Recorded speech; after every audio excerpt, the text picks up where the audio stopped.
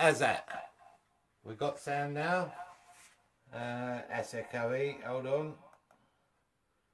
Go. Audio. Shut that. One, two, one, two, one, two, one, two, one, two, one, two. How's that? Have we got sound now?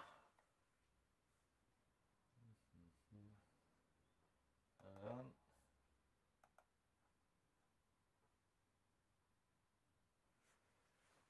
Okay. I've got a bit of reverb in here, um, which I'll have to sort out. Okay. Um, I've put in a new switching unit. The mic that used to work with the old switching unit's not working so well. It's causing some problems, so I've had to put in another mic. Uh, the other mic's in, and I never connected it, turned it on. So it's on. Echo edge, yeah, I can hear that echo. Hold on. Uh, let's try.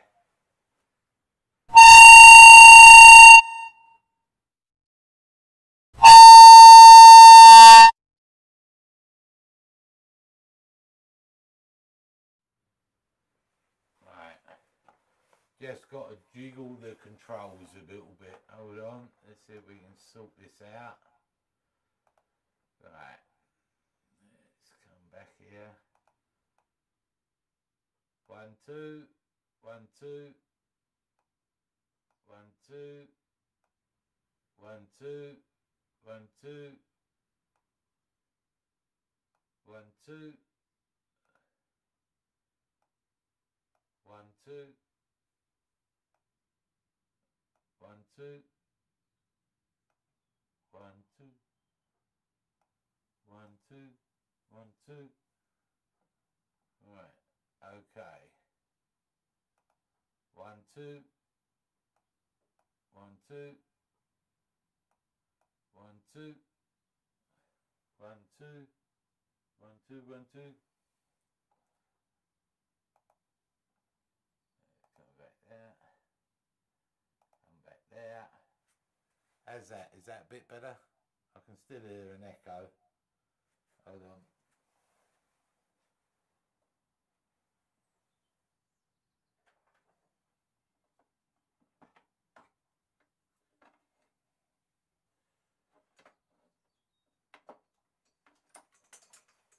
Get rid of this.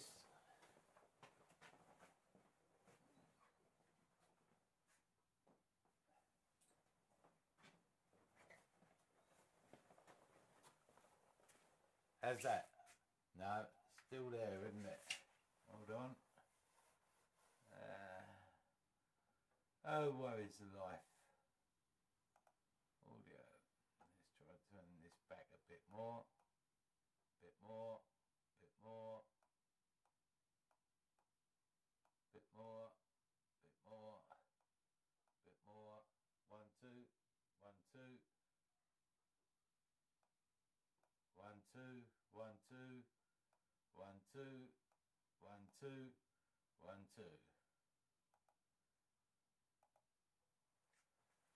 Right.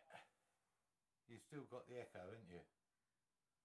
If I shout, echo. If I talk quietly, no echo. Well, no, there is a bit of echo.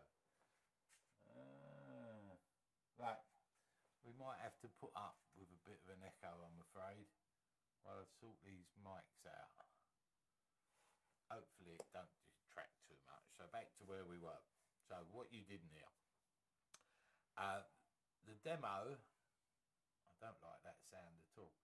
The demo is slightly different because it's a project that I've got to do. I don't normally uh, take on a lot of work.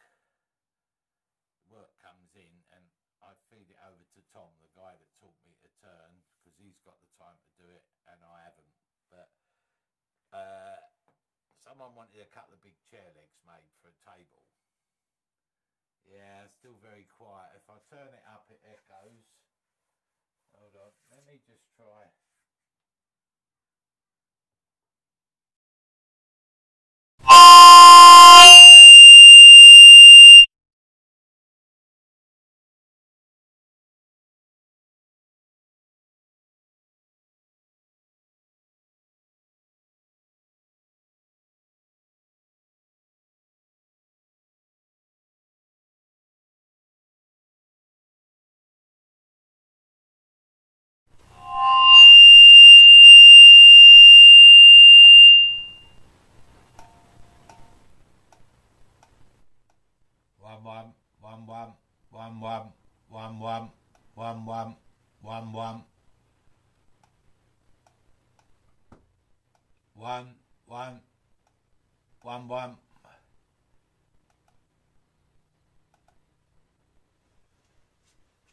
Have we got sound now? If someone could do uh, something and let me know.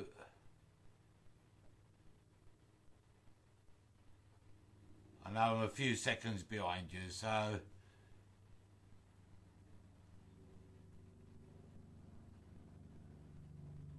Now I've turned, got rid of the speaker, got another mic connected up, turned the other mic off, so there was a feedback screech. So I'm running 20 seconds behind you at the moment. So if someone could let me know if that's okay now. Yes, better. Okay, okay. Right, I'm assuming I'm seeing okays, so we're better. Morning, everybody that's turned up. Uh, we've had a few technical issues with microphones, so let's start from the beginning. Okay, what I was saying earlier. So, I get jobs sent in to me as a turner, or I get people phoning up for work, and I normally pass this over to uh, Tom, the guy that taught me to turn, because running the shop and uh, cutting blanks for the orders that go out and all this sort of stuff takes time. And to commit to turning for people means I've got to find more time and some of the projects I get sent in, uh, I had a guy the other day that wanted 450 little plugs done, 8 mil plugs. Um, oh, it's a be a nice little job to do, really. Be quite quick, I should imagine, but I'm not very quick as a production turner because I don't do it. Uh, and Tom's got plenty of time, so I'll pass the work on to him.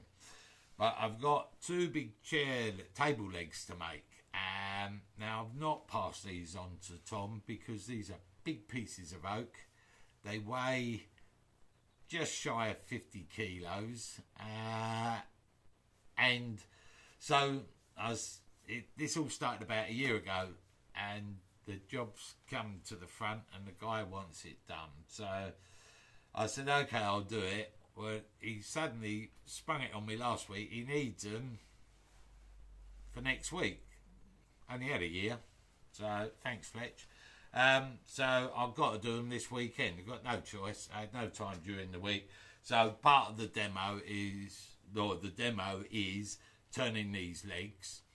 Um, I don't know how long it's going to take. Haven't got a clue. We've I've messed around last night working a way to mount them. Um, now production turners, Steve Jones and uh, Les Thorne and people like that, they're geared for this sort of work. Their lathes are big and heavy, and they'll take big, heavy pieces of wood. They've got massive long beds, etc., etc. Many production turners will have the equipment to do the job. I've got an FU230, a Stratos FU230, or I've got an Axminster 1628, or I've got a VB bowl turning lathe. So my VB is a MIDI, and if this is not working out too well, I'm going to have to cancel the demo uh, and go on to um, a VB. But I think this will work. It will certainly put the uh, Stratos 230 under test, that's for certain. Um, I've put big heavy pieces of wood on the little 1628 in the past, and it's worked fine. So I think the Stratos will work. So what I've done is I've uh, worked out a pattern for me to do it. I'm not saying this is the right way to do it because I don't do this sort of work, and this is the first time I've ever turned big table legs. Now, the spec for the table legs I've got is the bulbous bit has got to be 500 mil and around about 260 mil in diameter. That's it. Oh, and I got a picture. Here we go. Show you the picture. The legs can be similar to something like this that you can see here. So, you know, I've got a visual, something like that, similar. open spec. So the first one should be relatively, uh, well, not relatively, fairly simple uh, once we get going. But uh, the second one has obviously got to marry the first one. So I don't know if the second one's going to get done today or if I'll do it tomorrow. And depending how it goes, I'll just turn the cameras back on. So just feel free, just flit in and out if you want to.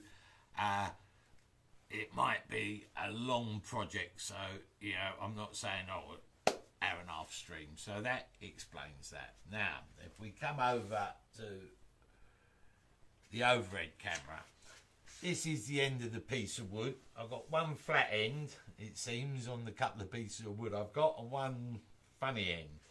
So I've marked a ring out to me uh, nine inches, 260 mil, whatever it might be, to give me a guide.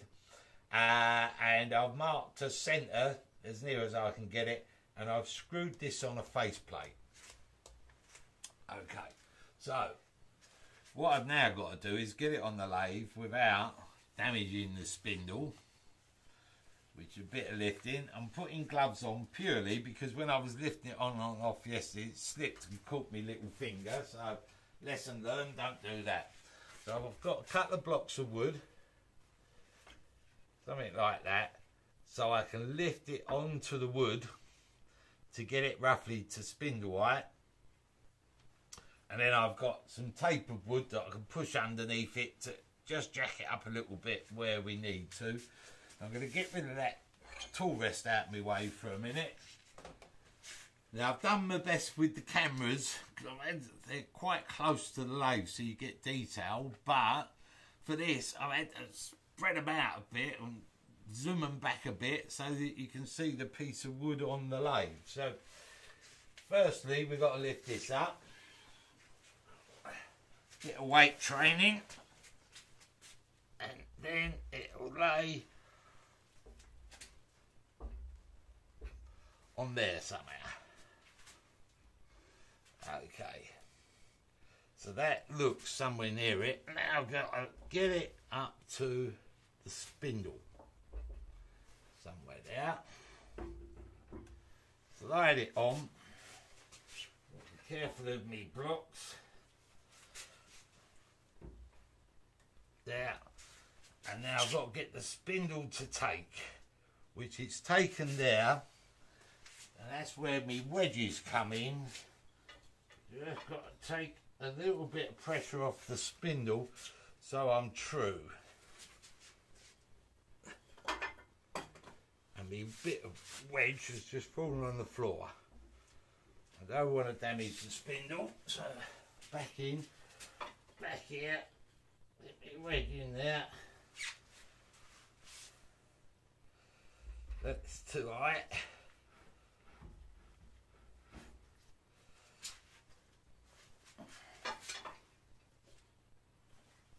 wedge back a bit. Got to get it parallel.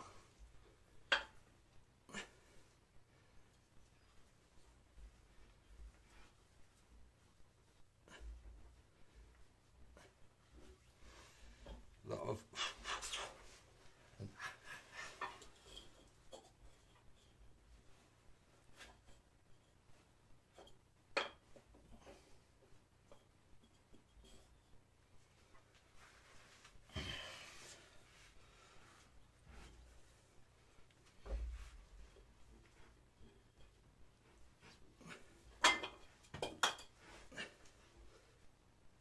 heavy wood falling on the floor, which I didn't want to happen.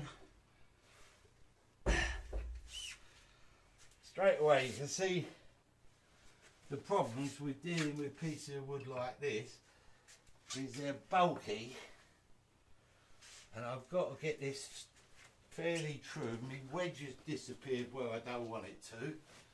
Most awkward place in the world.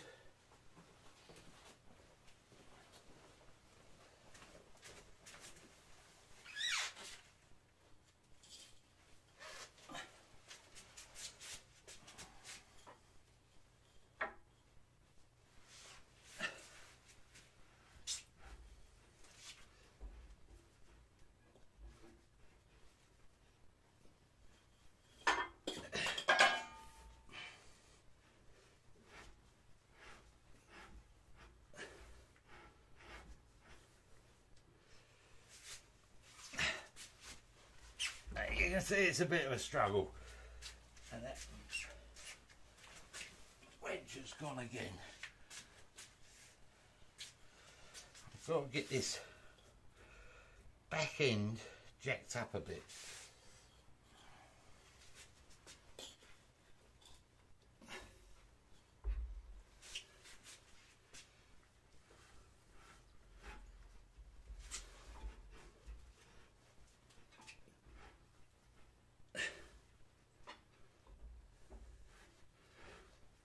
Be a short demo if I can't get this on the lathe, won't it?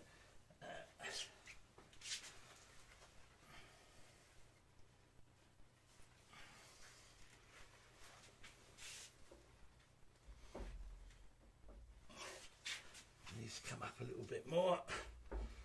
Maybe a bit more.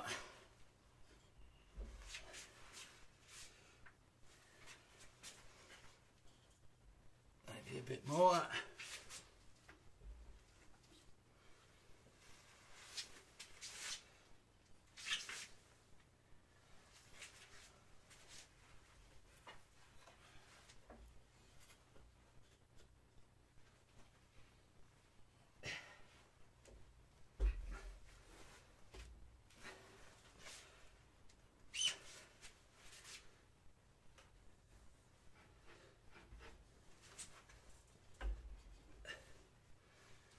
To lift 50 kilos with one arm is not happening.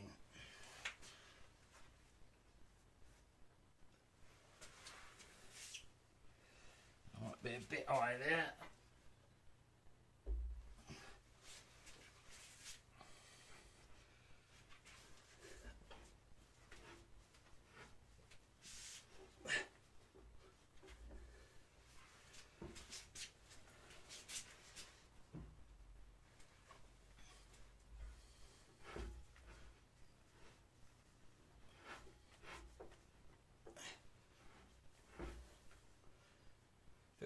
It's gonna go, then it stops.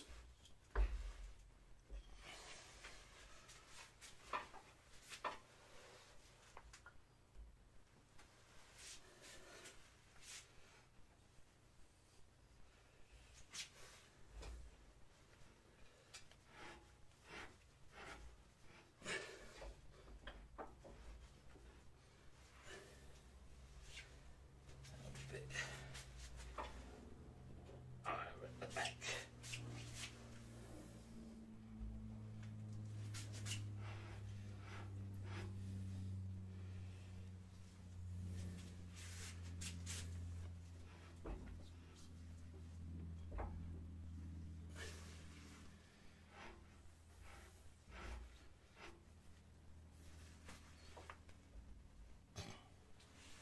This is a struggle.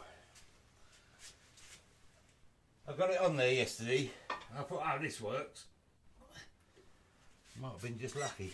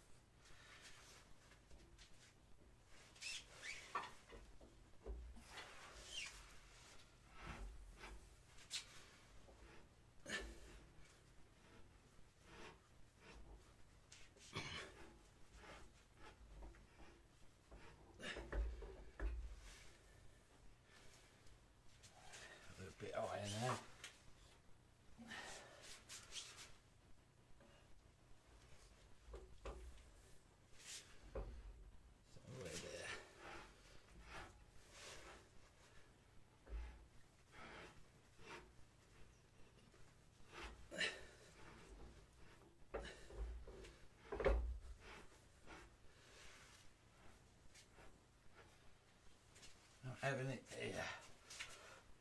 That must have been a lucky break yesterday, I think.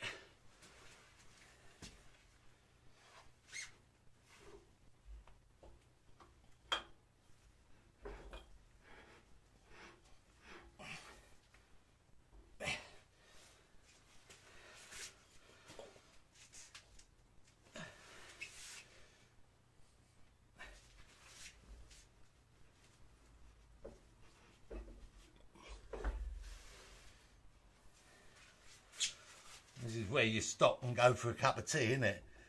Give up. Go and get a cup of tea.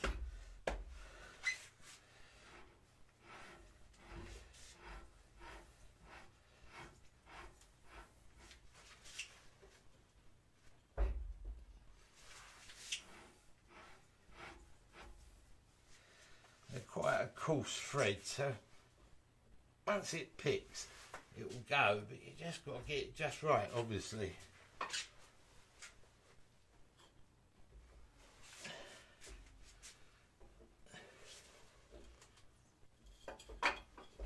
Then my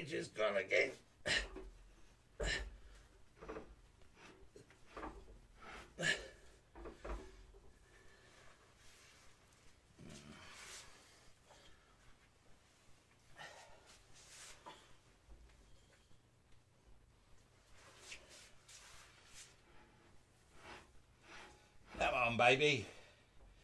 You can do it.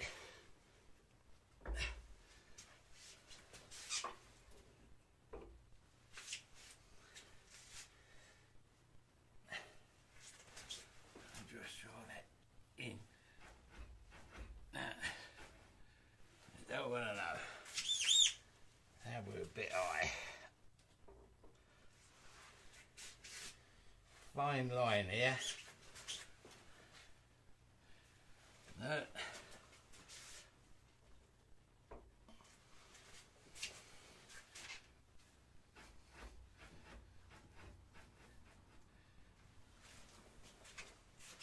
We got a bit.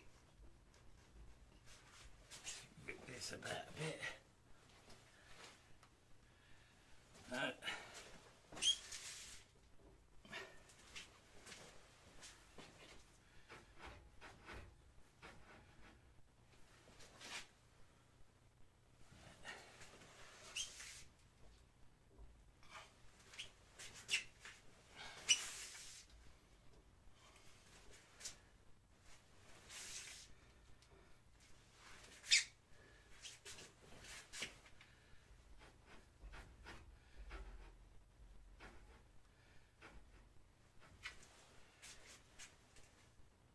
I should have left it mounted yesterday, shouldn't I?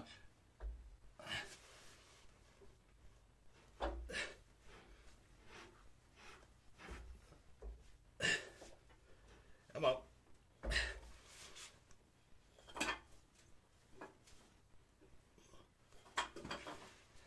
It's all gone.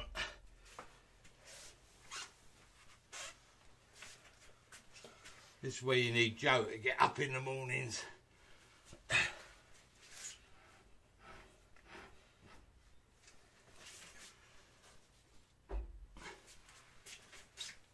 Had it all on here yesterday and I took it off thinking it wouldn't be so much of a problem this morning. And it is. Proving to be a little pig.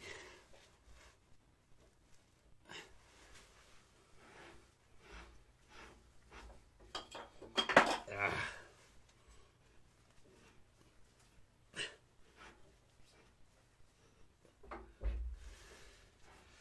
Right. That wedge keep falling on the floor. Is a wind This could be a morning's demo on how to get the wood on the lathe.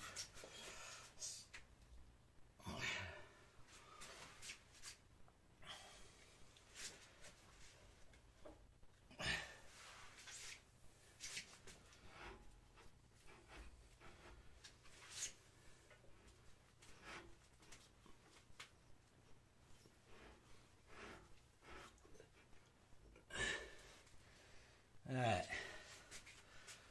So we are. We've got to be nearly there.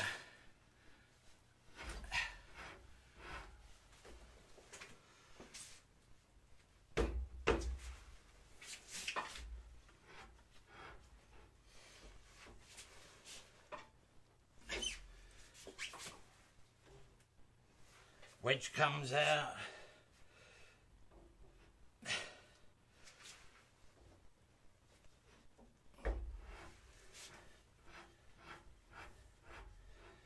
That's a real lucky break, you see.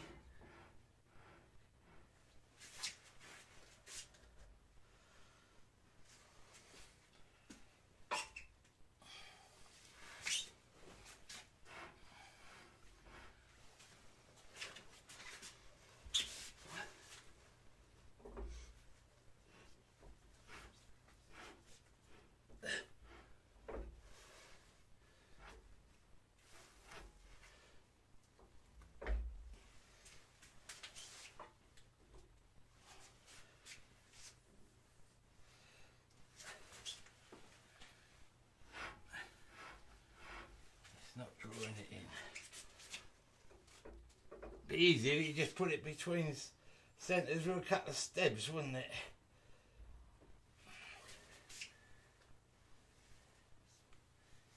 I'm a bit, a little bit high now.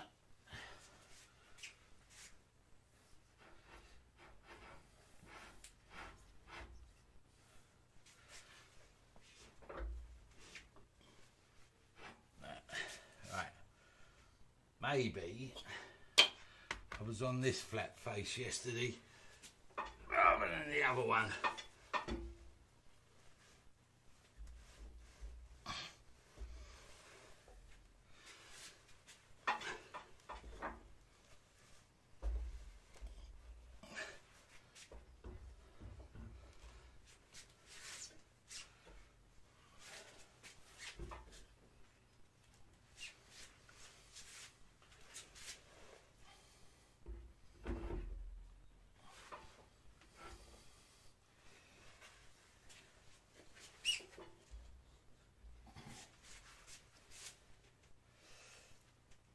To mount a piece of wood.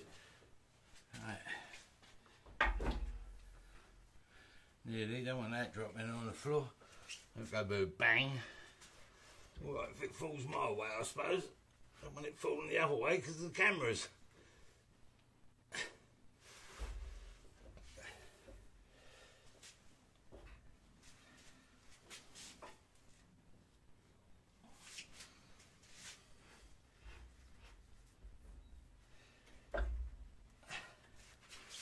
looks better.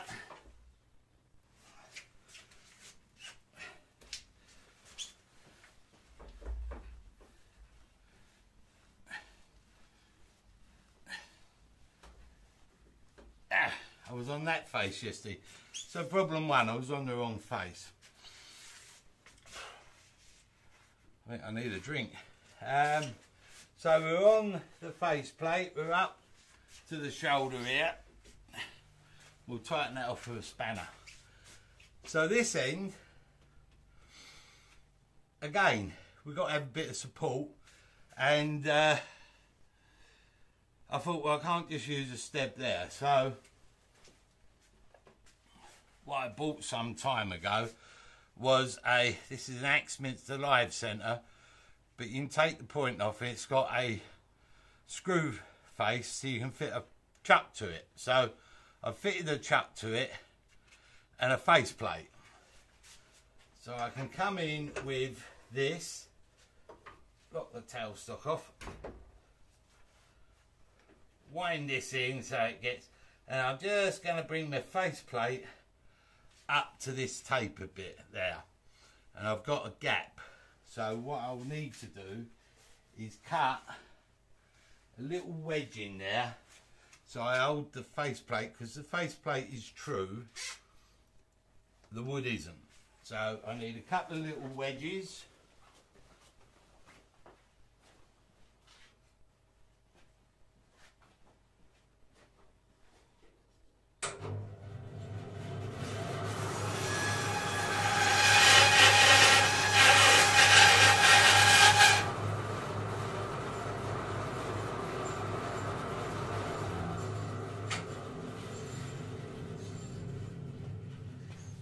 Just to take out the gap at the back.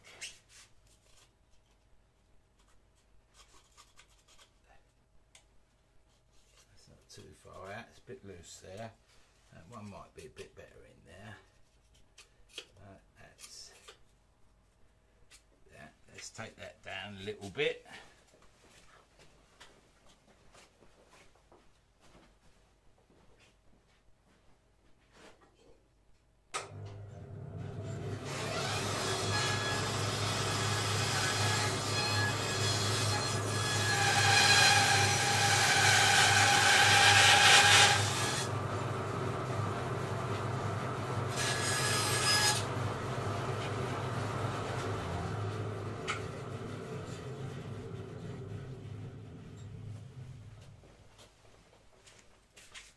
See if that'll fit in there.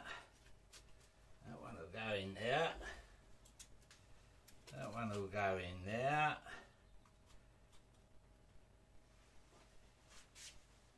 Okay. And now, what I try and do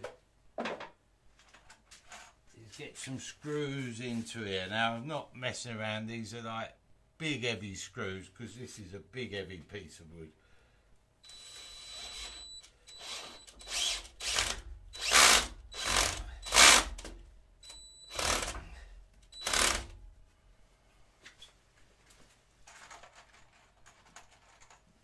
Try and get a couple of screws into here to hold her.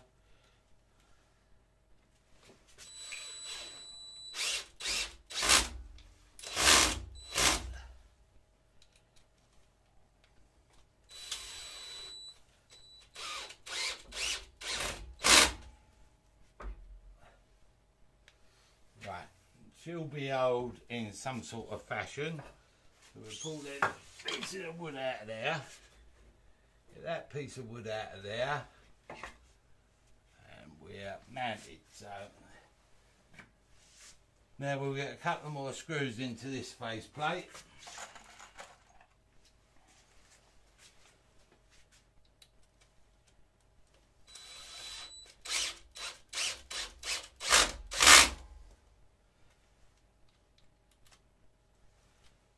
Right into there.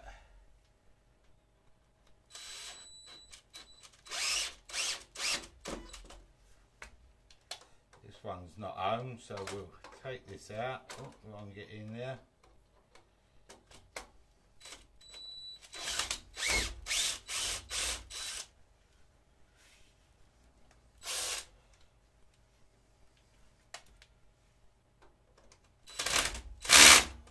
There. Let's see if I can get that into there.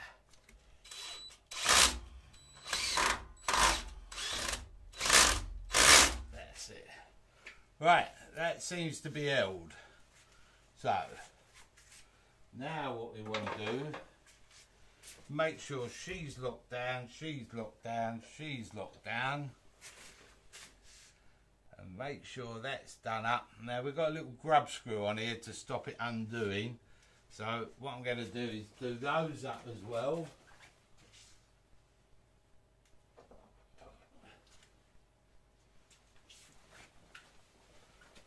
The Right key. No, wrong key.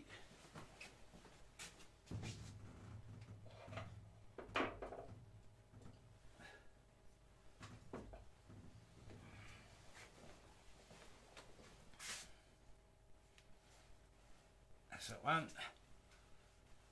On that side. There. Okay. We're locked. Now we've got to see if the tool rest, which it won't, fit under this wood. The wood was cut. Uh, and ideally, what could have done is done with chopping a bit more off. But my accuracy with chainsaw might have put a taper on it and then we wouldn't have got our three inches out of it. So what we're going to have to do is work our way along till we can get it round. So I've got to make sure the speed is down, turn the lathe on, find me tool rest that I took off my lathe.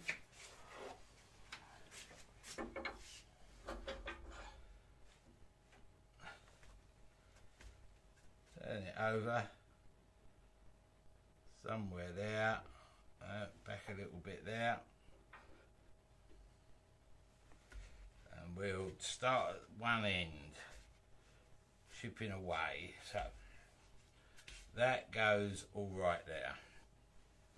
So make sure this is all locked down and we'll turn it on and the will turning on. Just advancing the speed really slowly. This won't take a lot to go out of sync.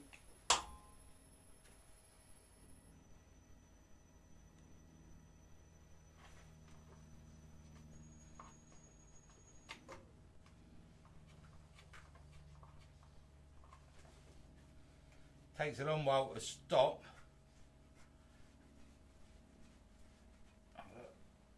To lock all this down, the headstock looked like it was moving.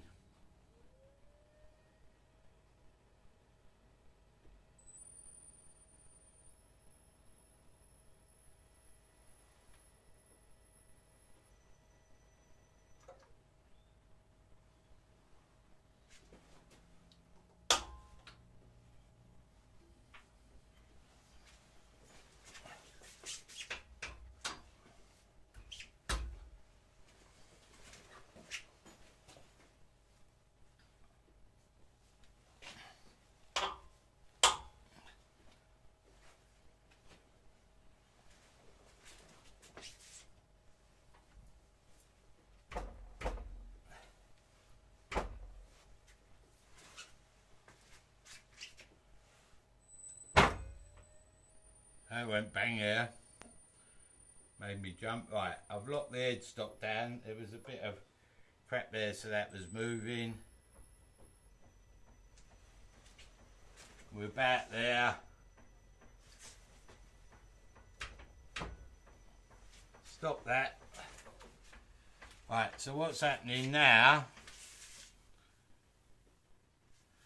I've got too much quill out of here.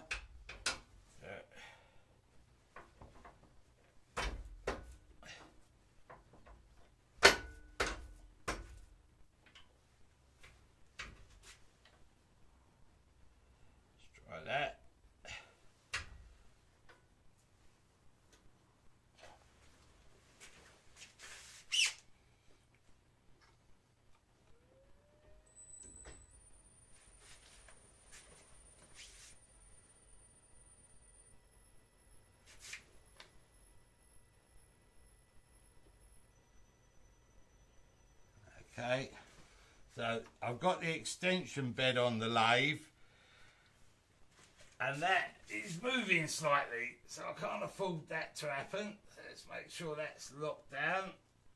And I've got the extension leg on it, so I'm to have to get that tightened down.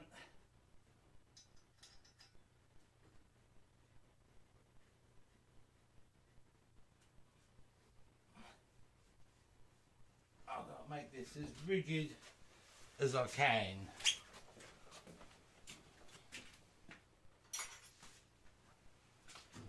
I can't afford for it to move around because with the weight of the wood it could obviously fracture the steel. We don't want that. And if I found the right spanner first time to lock everything down.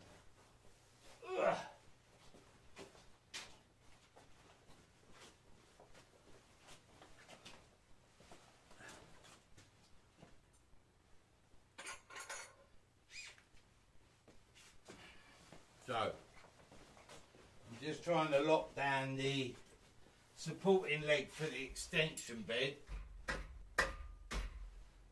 to stop the bed from moving. But of course, the spanner I want is not to land. Typical. So, the problems of turning something big. Now,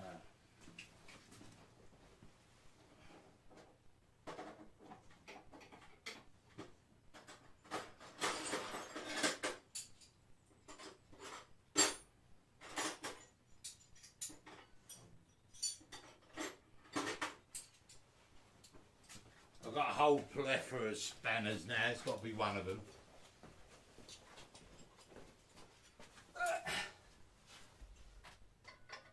Not that one. Not that one.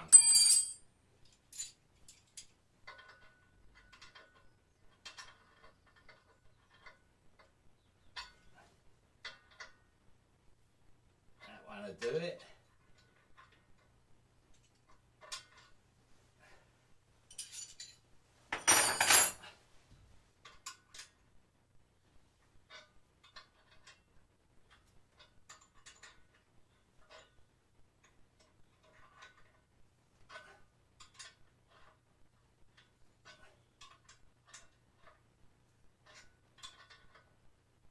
Let's look that down.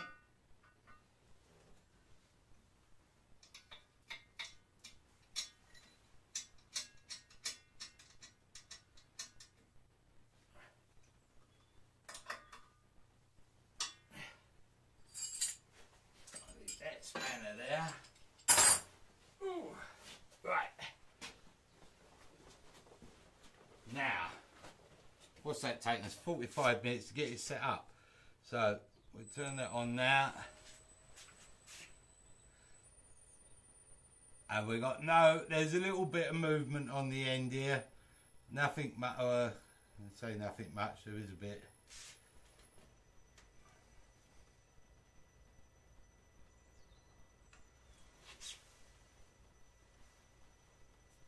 Just a little bit of movement.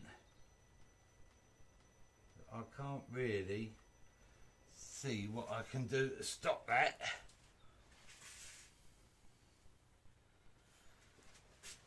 It's out of kilter, so everything's locked down there. It'd be ideal if the headstock was on the lathe body itself. So these are the problems we face when we do something like this. Take on jobs that we shouldn't. Let me wind that back in there. I'm trying to get this as close now to the extension joint as possible. With the least amount of quill I've got hanging out.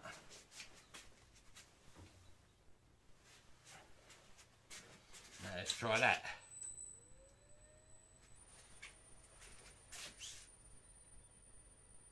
There's still just a little bit of movement in there, but not a lot. Okay, so we're actually ready to start turning.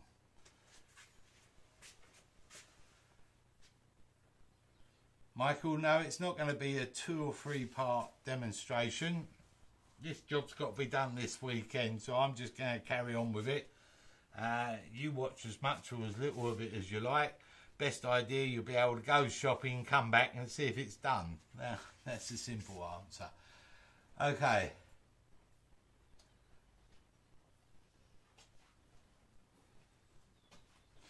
Okay, so, oh, cup of coffee. I'm going to need this today. Is everybody happy at the moment?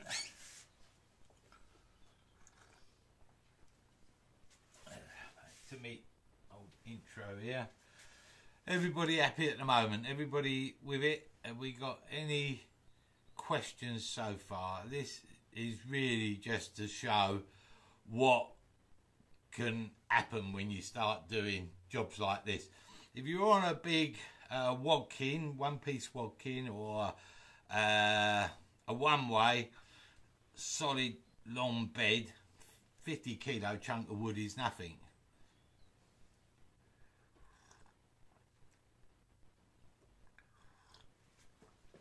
Right, so couple of sips of coffee.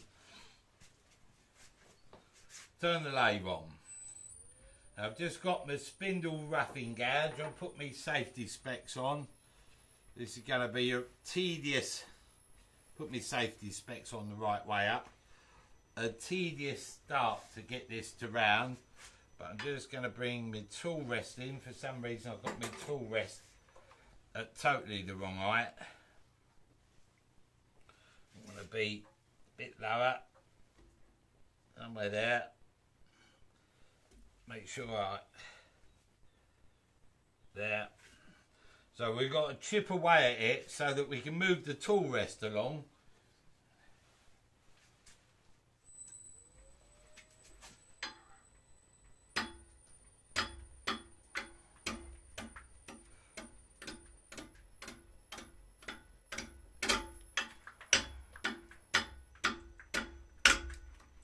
Right, what I'm going to do straight away is change from this spindle roughing gouge and get into a heavy duty bowl gouge.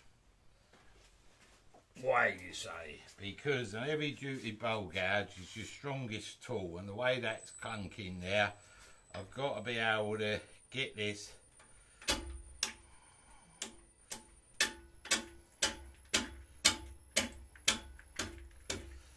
to round a bit.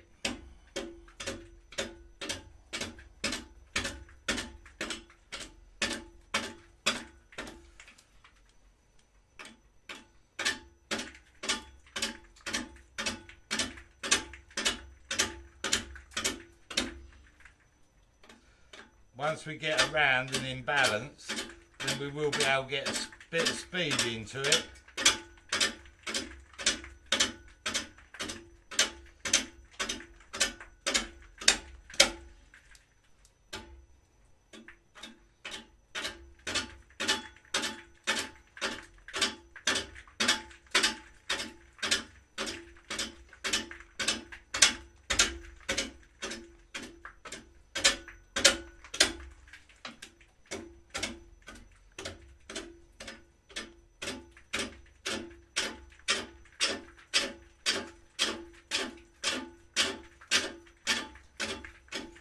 Tom's into my side. And the only reason I'm stopping it now is if I've chipped off enough so I can get the tool rest along just a tad further.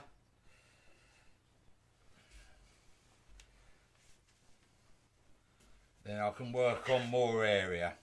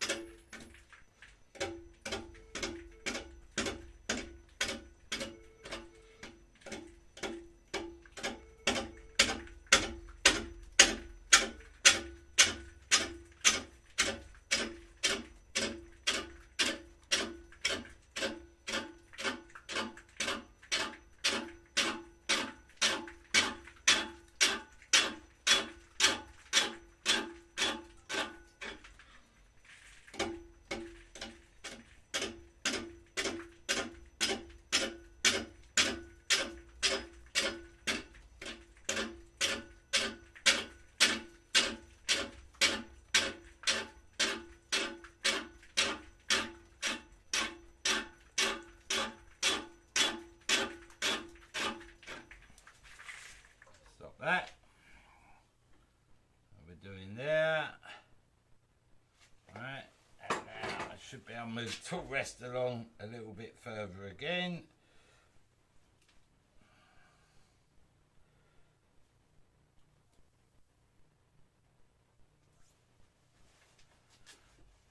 Someone trying to phone me.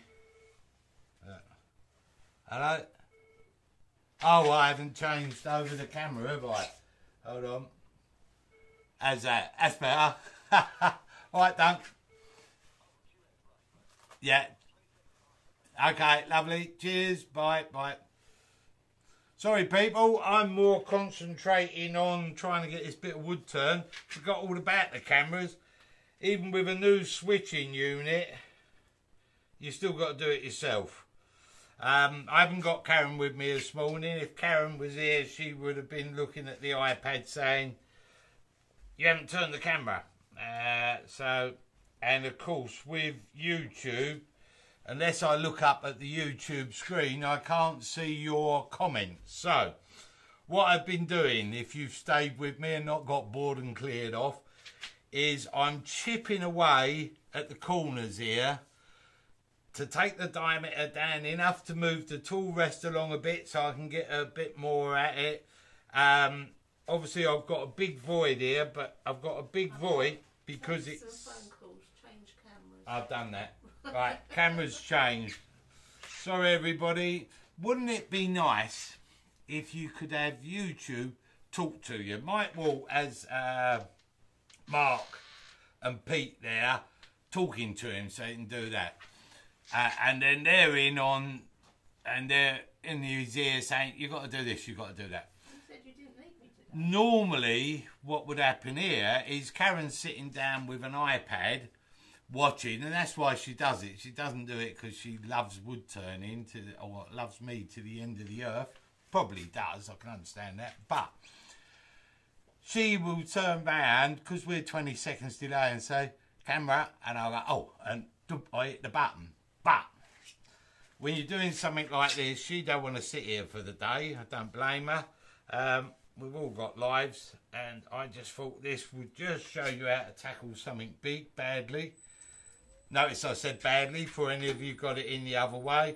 So I'm just coming off the tip of the tool and just locking up everything. We're nowhere near round yet, but I'm just trying to knock down the edges. And I can try coming in this way. As we get rounder, we'll get better. We'll be able to turn the speed up a little bit as it balances. Tools back towards me. And it's just bashing. What I'm supposed to be doing is turning the ghost, but at this speed, the ghost is very difficult to see.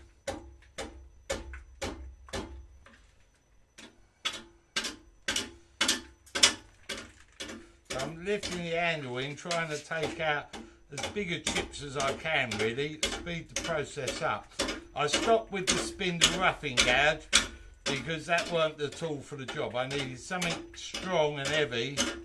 Spindle roughing gouge can come into play when we get it a bit rounder.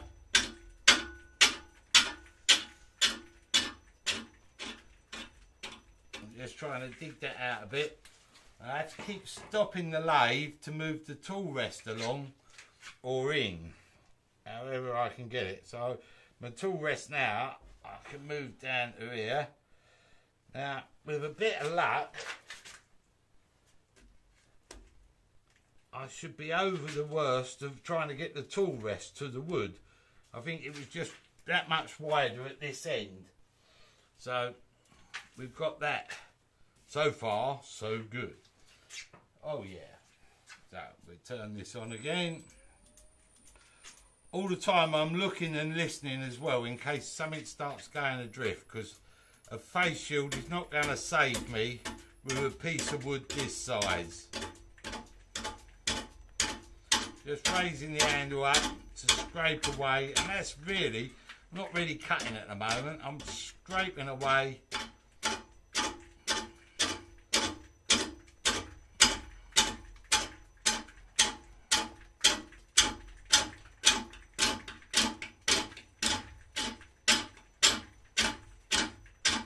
Bits of wood.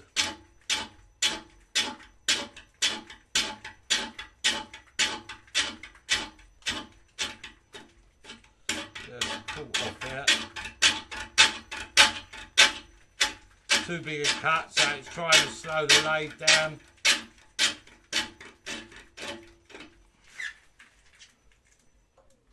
Stop the lathe again, move tool rest now.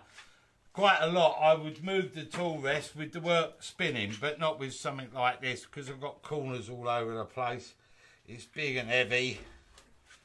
I've got to sort of weigh up what is a safe move and a stupid move. I'm quite good at stupid moves, but I'm trying to do safe moves because I do not want this piece of wood hurtling at me. I'm going to get hurt. Still sharp. Now, what I didn't say earlier, I this is the wrong wood for the job. Um, tree was cut down. Hold on.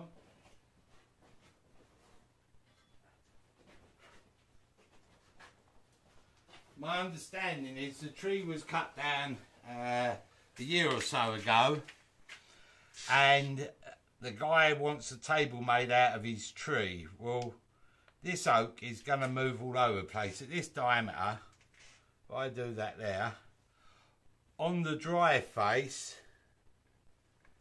we're getting 16, 15, 16. But what will happen is as we get into the wood, this will go up.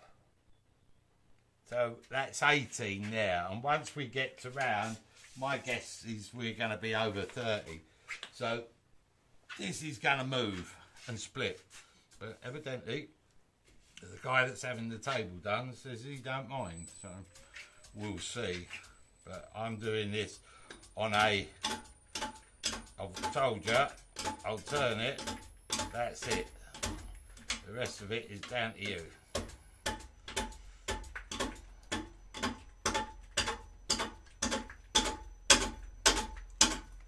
Drop my handle a little bit so I don't take such a big cut.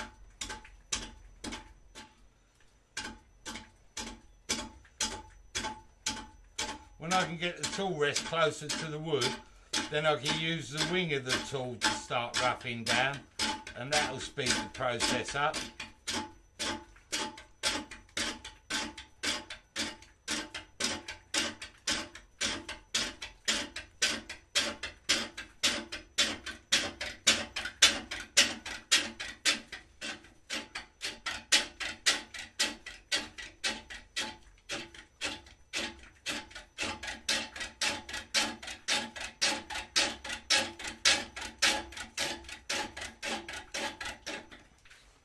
There. Another stop. Should be able to move this along a bit further.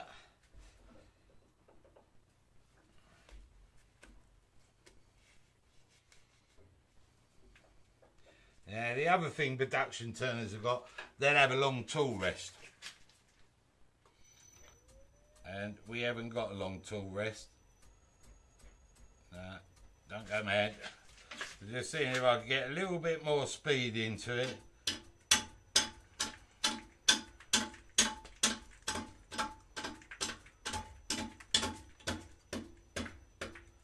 Just trying this long tool rest here, just trying to knock down them corners.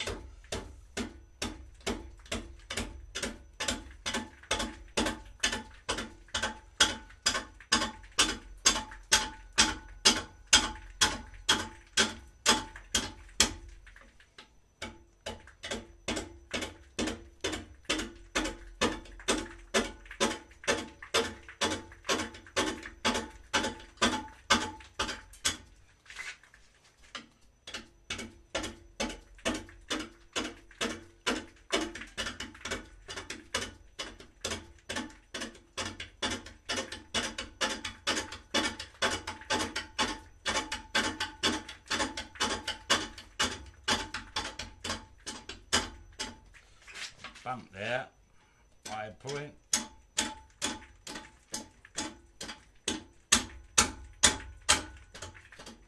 The great big knot in it, or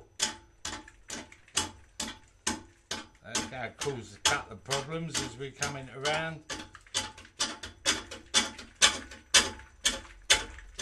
The lathe was trying to slip there, the belts were slipping because I was take, trying to take too big a cut. The fine line trying to get the wood removed.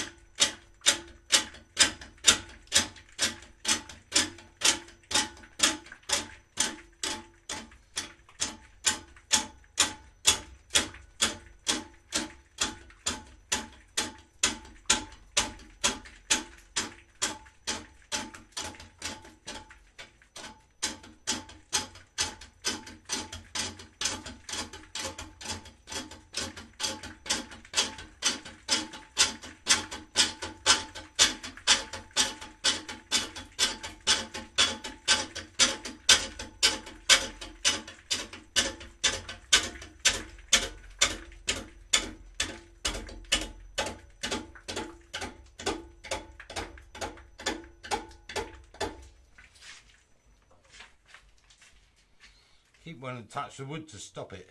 Stupid boy. Stupid, stupid, stupid boy. Right. So, where are we at? Well, I think we can get our tool rest a bit closer now. So that'll be good. Closer we can get the tool rest, the better. Not that close.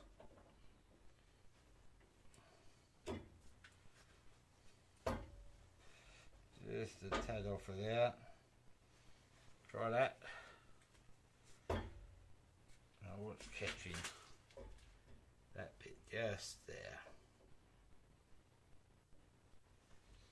And I can't really afford for it to start banging and clattering around as we're getting around.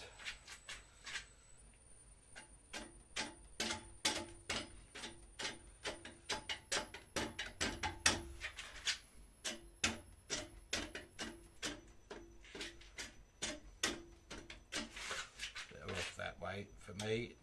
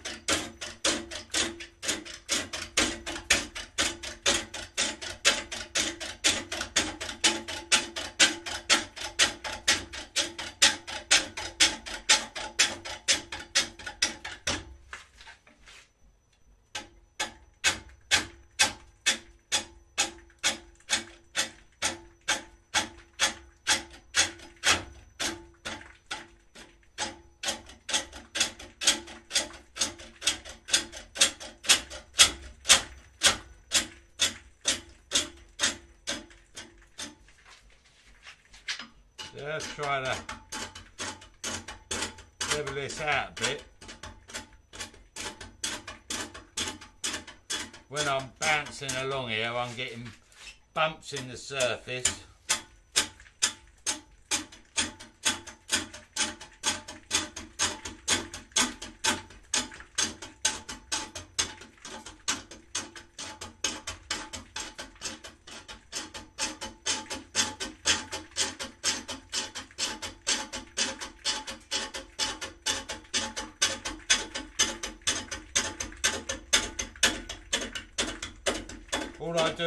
Come along as I feel it bouncing and trying to skip on me, I drop my handle a little bit to take less a cut.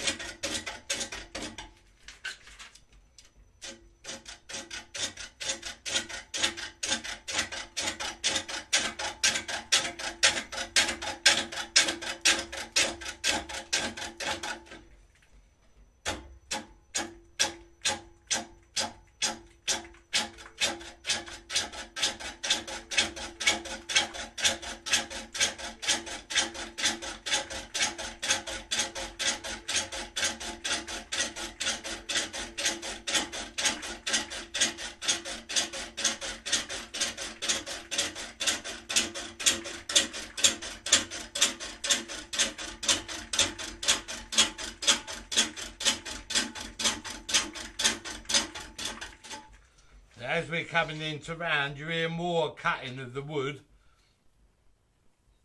because we're in contact, the cutter's in contact with the wood more. We get fresh air there, fresh air there, and we're getting rounder here. So this sort of project takes a while. Now what I'm going to do is bring the tool rest down so I'm over the centre post and concentrate on this end and then slowly move it along. See if I can speed it up. The trouble is I can't put any speed into the lathe. We're running at uh, 135 revs.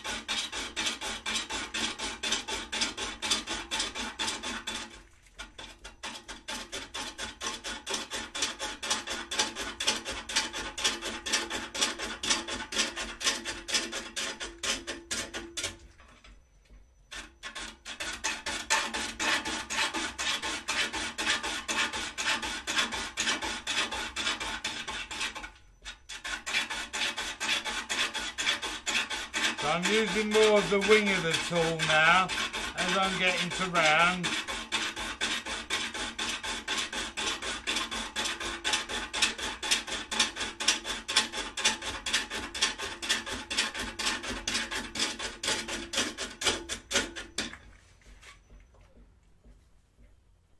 Just stop that there. See where we're at. I should be able to move this in a little way.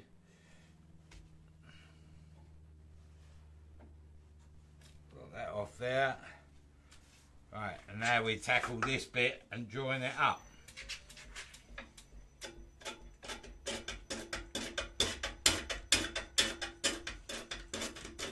There'll be a few shavings to clear up here once we're done.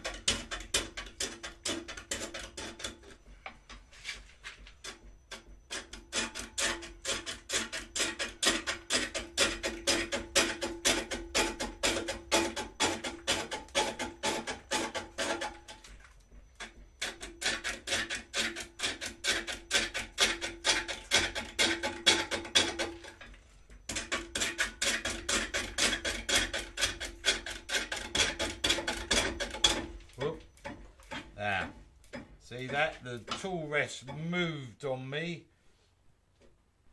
Only a fraction, but it moved. So you stop it straight away.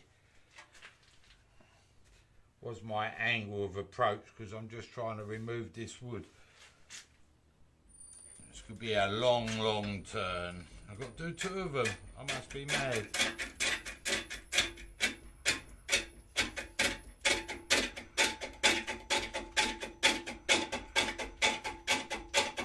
I'm trying to use the wing more now to give me bigger cutting edge so I can take more shavings, speed the process up.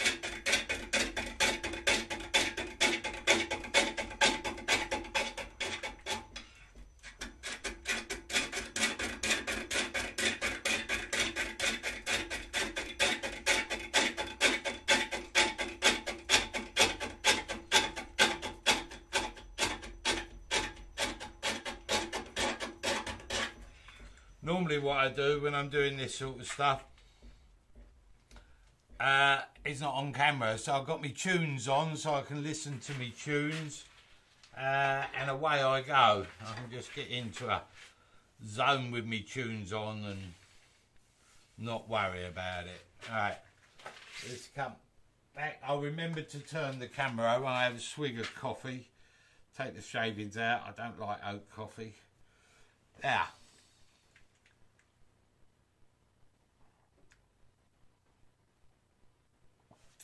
Chris, that was a great idea. I didn't think of that. Got Mike to do the other one. We could have had a race. He would have enjoyed that. And of course, he's got the XL, which is even bigger and sturdier. More designed for this sort of work, I think. But the 230, you know, so far so good. Don't like the little bit of movement in the extension bed, but um, it's not going to be life threatening to the project.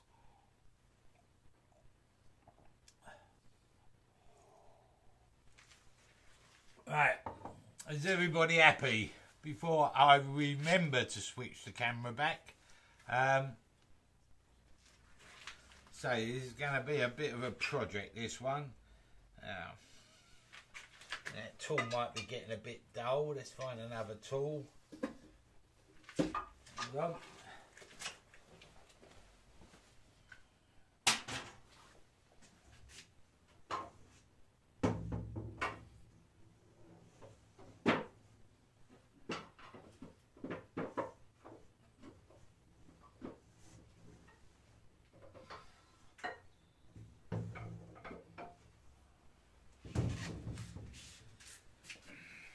bring of backup half inch gouges. I'm using half inch gouges at the moment to do this. So back over. On we go. Onwards and upwards as they say.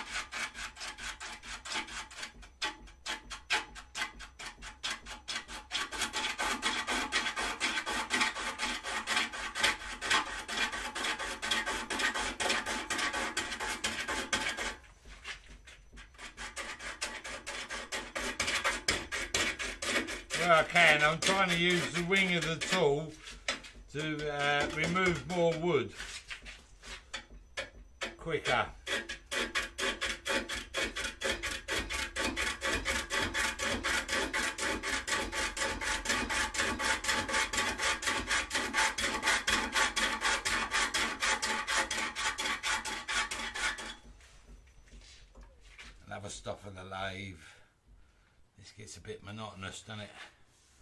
Alright. Let's move this along.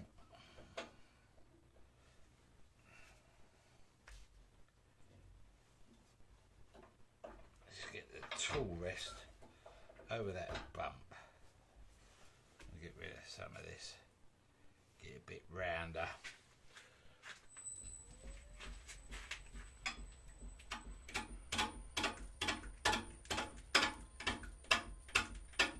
Tools in this side, I'm just following the tool rest along really at the moment.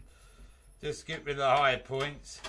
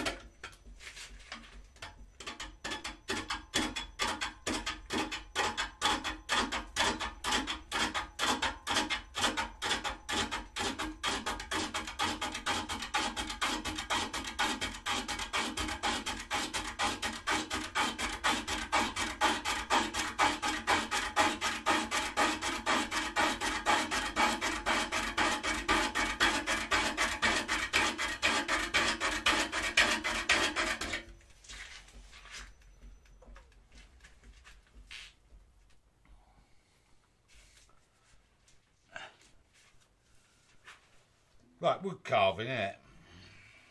Let's carve some wood. Get the corners off of this bit. Come a bit closer with the old rest now. Closer you are, the better. Alright, we're over the tool post for the high point, so we're coming to there. Yes.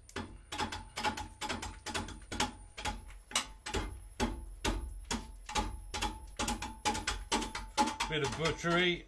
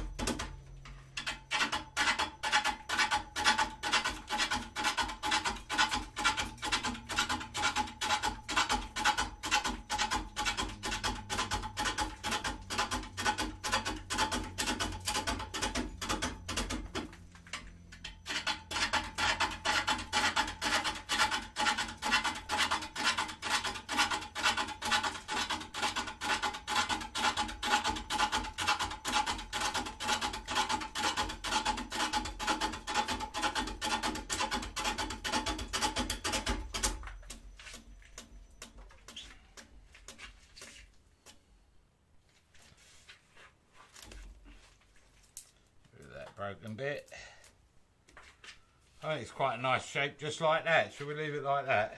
That'll do me. Note to self, just say no. Right.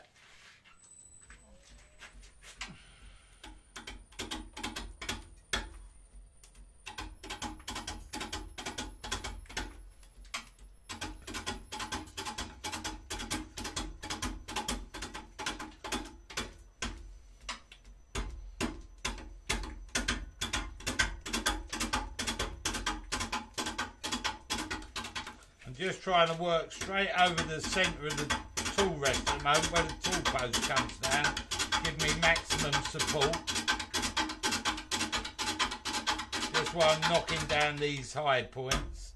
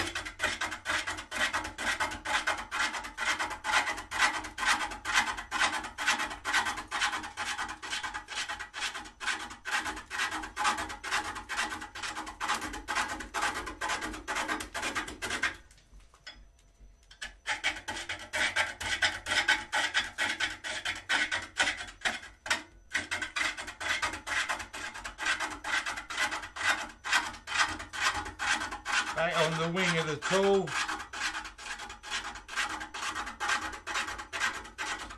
Up to that bit there.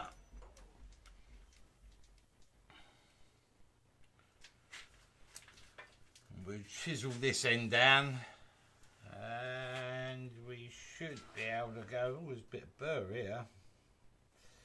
Get that down there. Make sure she's going to turn. And on check that too well, did I? What's bashing? Just that bit there. That will go in the pass.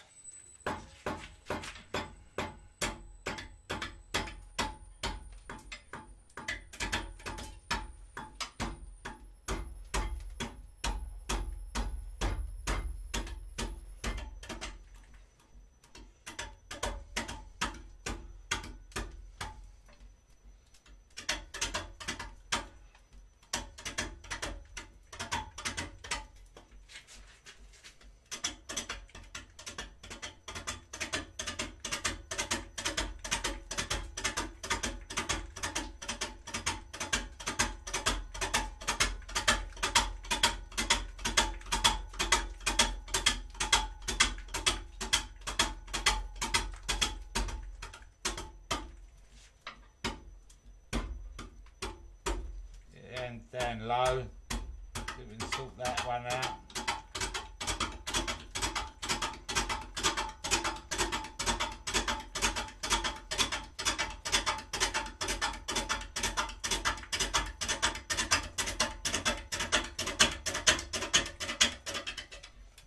Just following the horizon as I come round here.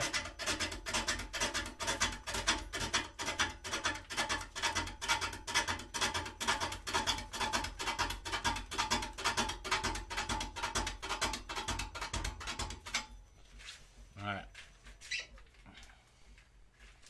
Stop that. Get to the corner. I want the tool rest right over this bit here.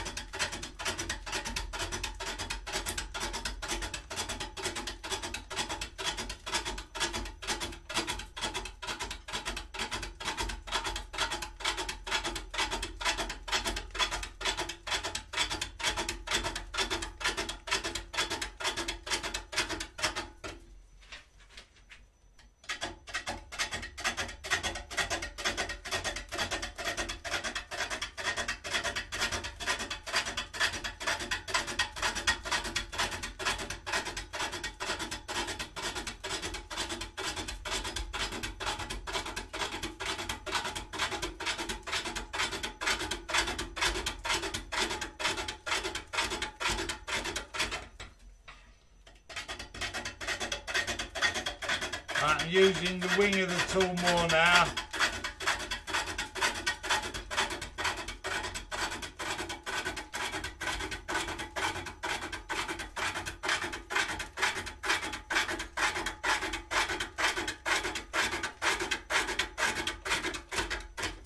This gives me a larger cutting area.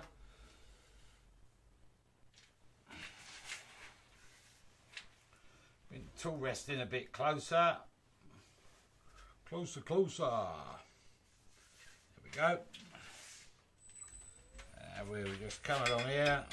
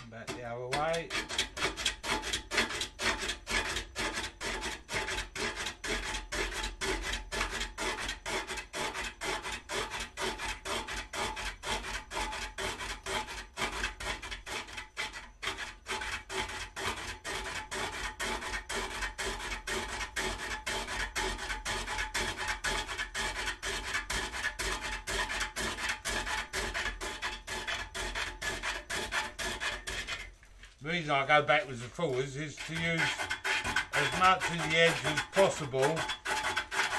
So I don't have to keep running the sharpener but we're heading for the sharpener.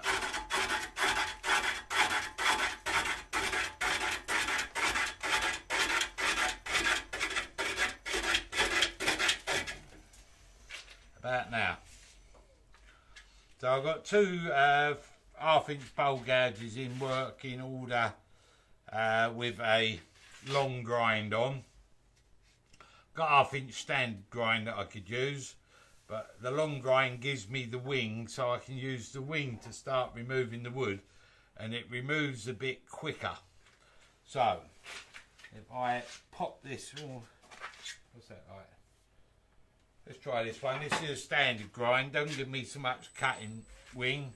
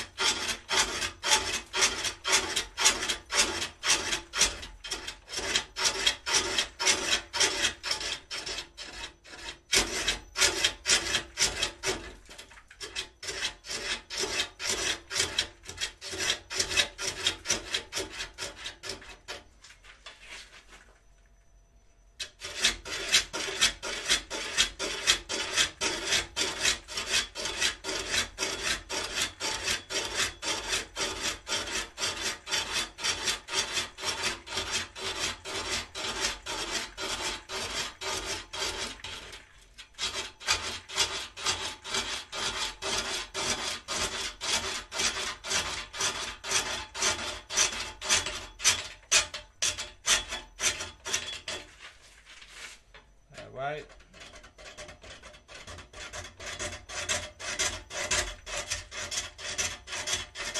Yeah, much better run. You don't take too heavy a cut.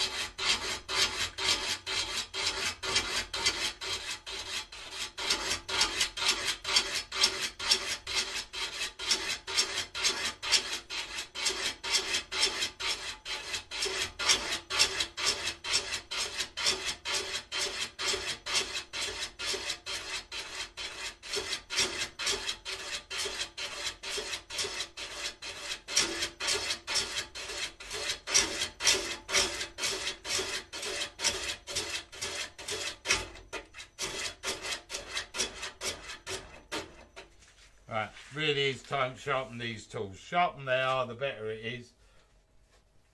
Let's get rid of that one somewhere.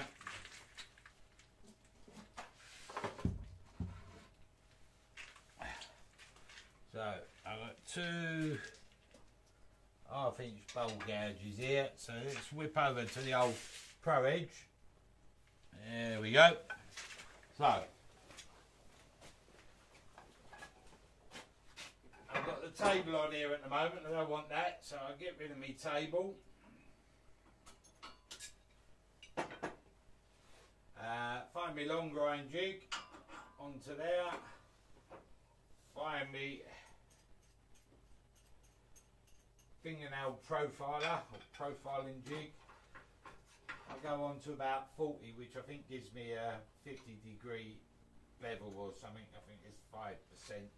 Something to do with trigonometry, but I hope, you can hear me waffling on. So just roll over one way, spin, roll back the other.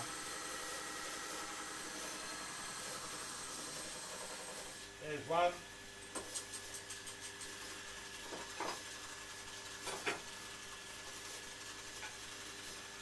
That's bouncing because I took the uh, safety guard off earlier. I was just um, putting Uh, a quarter belt on just to reshape the tool slightly.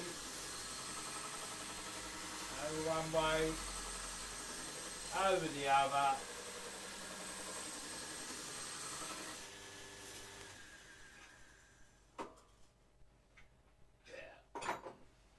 Actually, I should put that cover back on. So, there, two little wing nuts. I don't know how much of this you can see because I can't see a screen. Hopefully you can see it.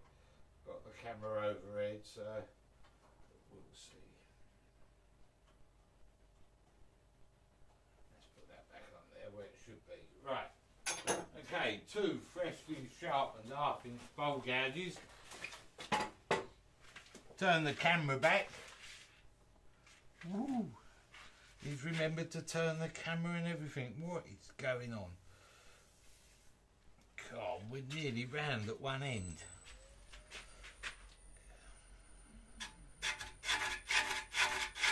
See how much better that cuts?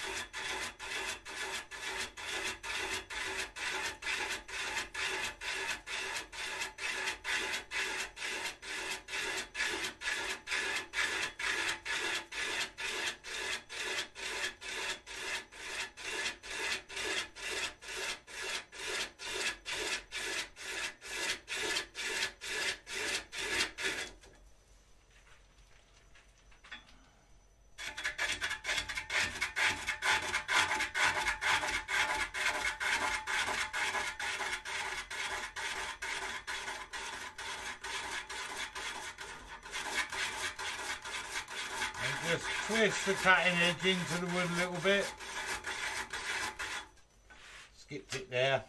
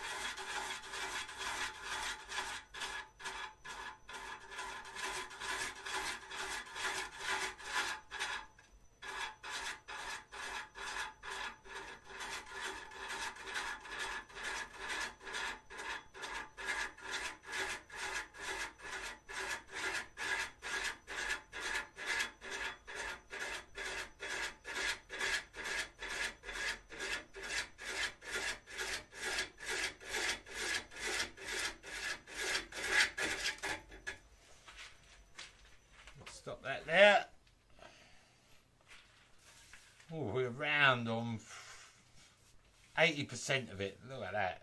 Woohoo! Right, let's move it down. Join that bit up with that. Make sure she's going to turn all right.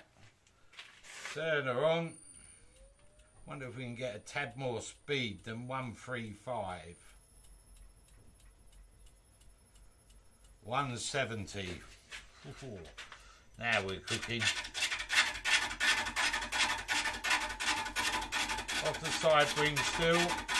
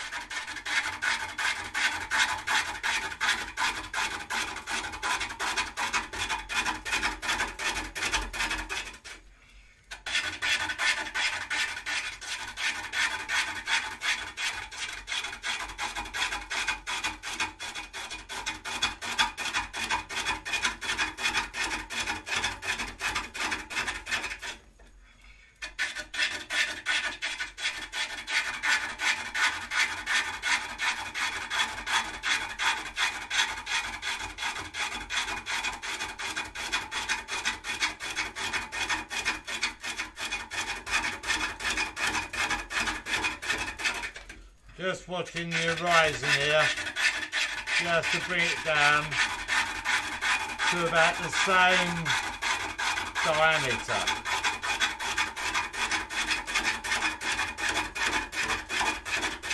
Don't forget we're still roughing down.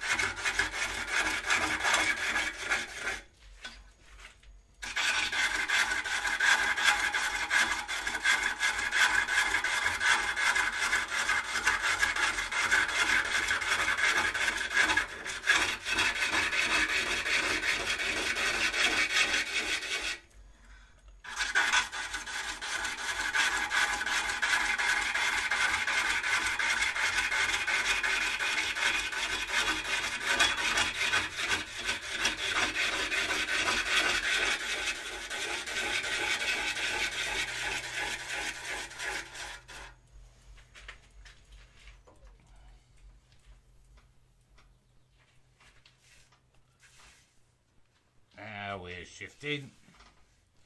Right, so let's get this bit a bit rounder.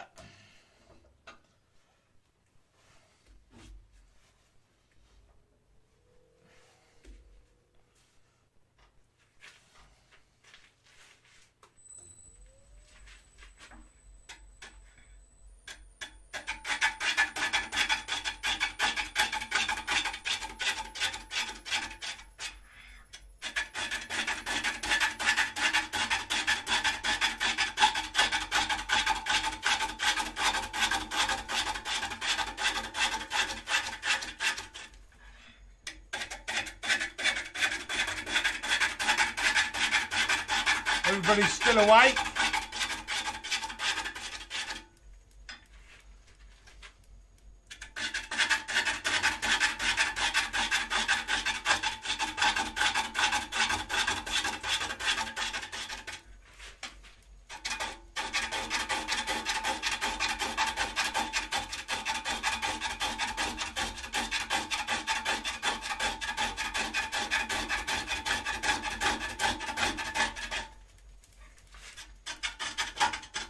That tool's already dying. Let's go over another tool.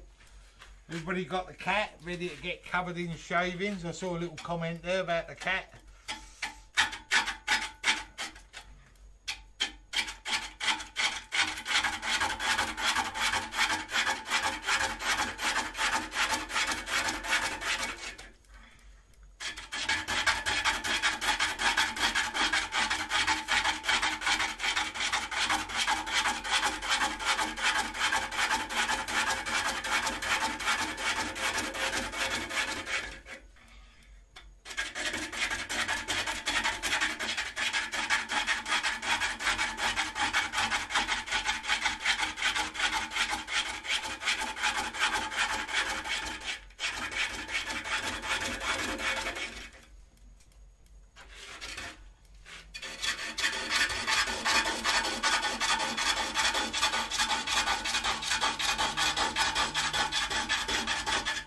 I was pulling that. I could just go in with my left hand on the handle.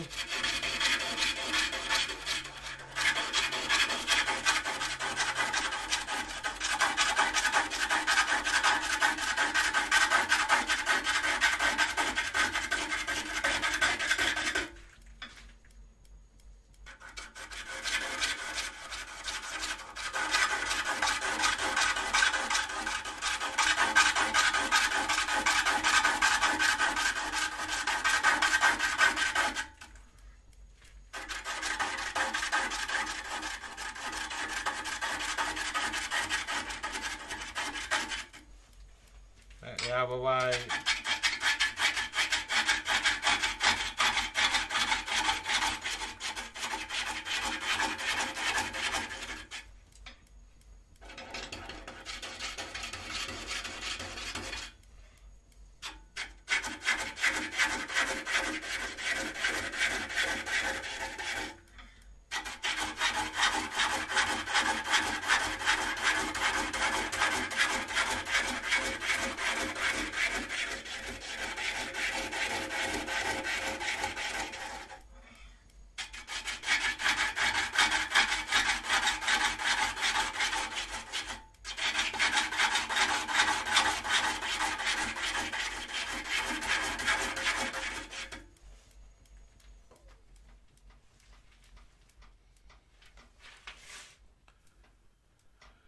Right. We've been a while, nearly two hours, so I'm going to stop for a break in a minute. Go and get a cuppa. I drank me cuppa a while ago. I'd just like to get this into round and then we'll start on the marking out and all that sort of stuff.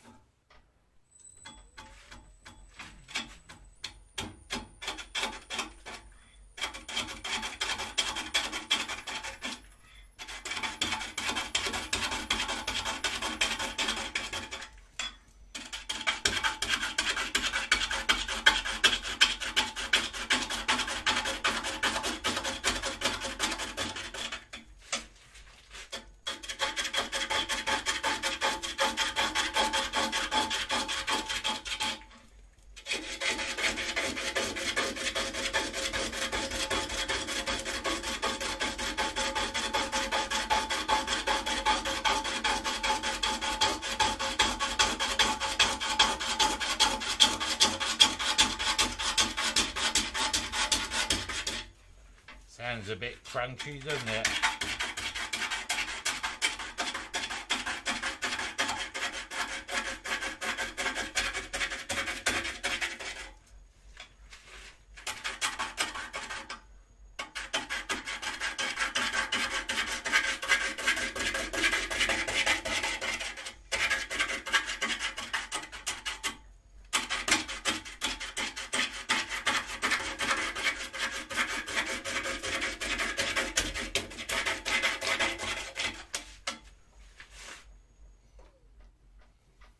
what's going on there. Bit come out. Bit come out. Was being a bit bullish. Uh, bit of loose grain.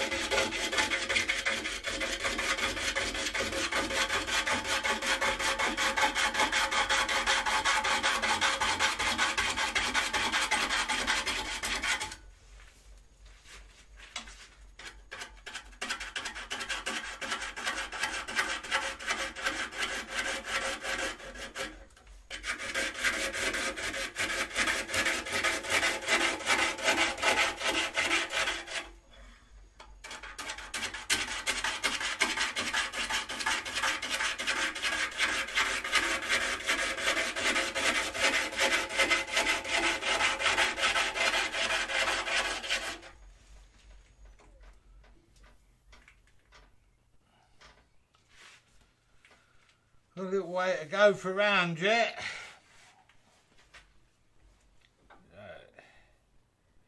This up here. Turn this on.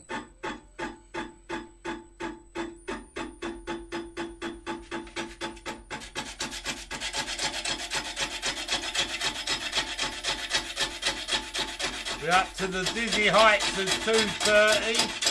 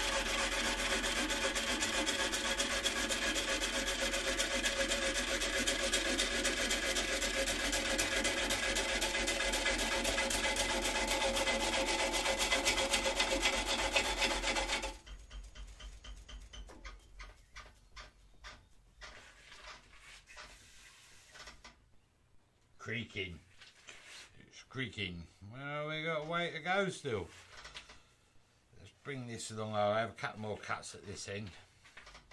Now this wood's quite wet now. We're only down about an inch or so. Oh, turn it on. So we're up now to 26. We were at it's 15, 16 on the outside. This middle is soaking, which is better for me because it will cut quicker and smoother. Not so good for the finished project.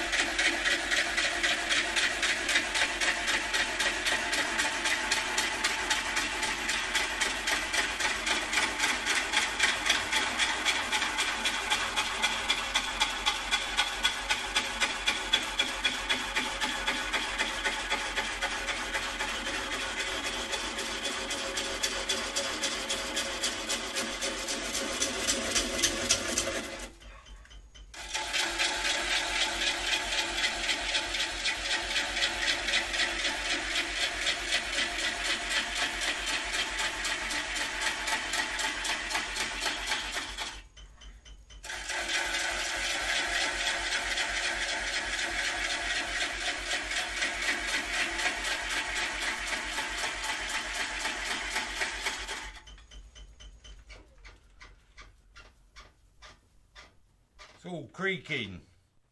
Round at last. Oh no, not quite. Nearly round. You can see this is soaking now. Um, so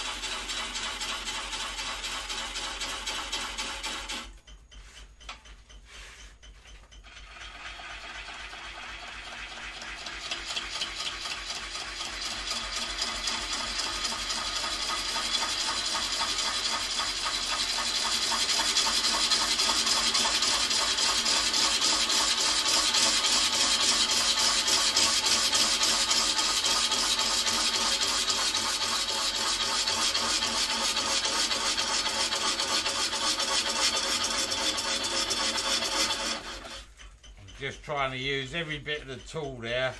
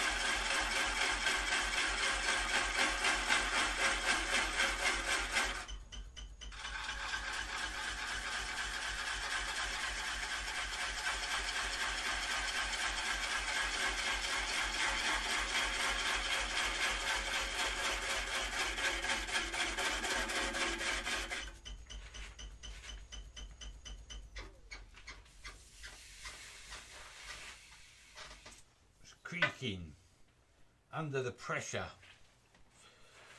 Round. Yeah, look at that. That's stunning, isn't it? Unfortunately, that bit's going to be wasted. Soaking wet. Alright. So, tool rest along and away we go again. So, there's still 104 of you watching this. Yeah, I've got to be barking. Hold on on to the old intro. You can see it's going to be a long project. That's why I said it will be on and off during the day. Uh, I'll leave it on.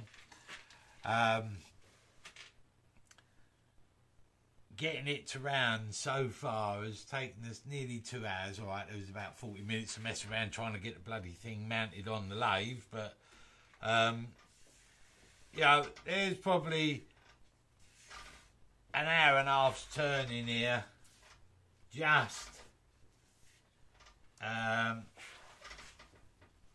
getting us to the point of that we're round, then we can mark it out and put our shape into it. So, as you think another half hour or so, things will speed up.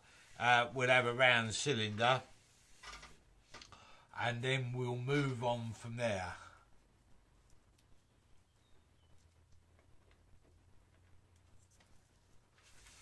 Right, so is everybody happy that's still sticking with this?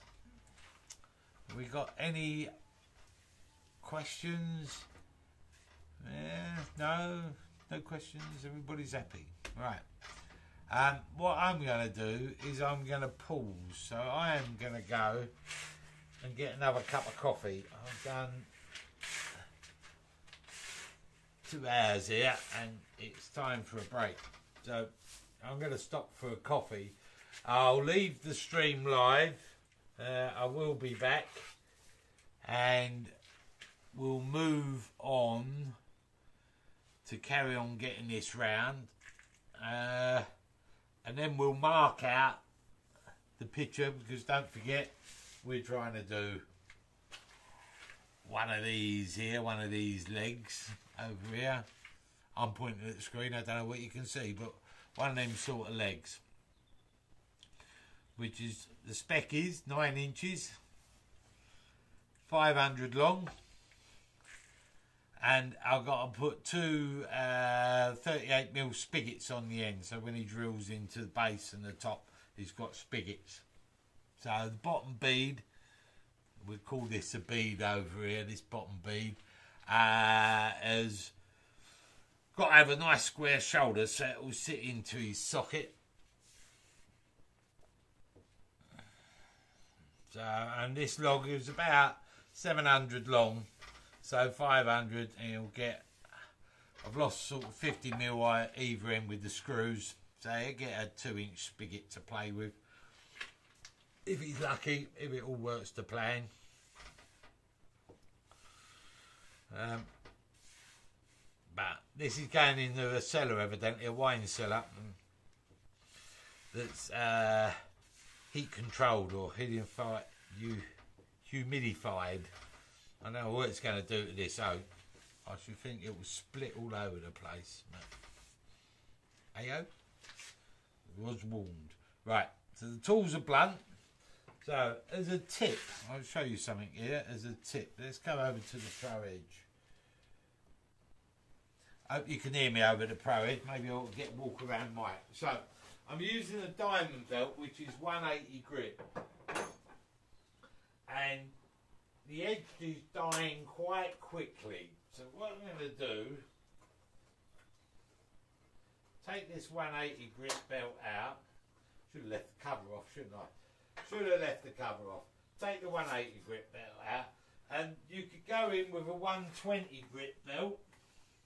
If I could find a 120 grit belt, can't see what I've done with them. Um, I've got a 60 grit here. Let's stick a 60 on. So I'm going to go with a 60. It's not finishing cut. This is a roughing cut it will make the cutting edge um, coarser and the coarser cutting edge should last longer so we don't have to keep sharpening the tools we're not trying to get finishing cuts at the moment don't forget we're just trying to rough down. So the longer we can keep the cutting edge the less time we have to come back to the sharpener all that sort of stuff.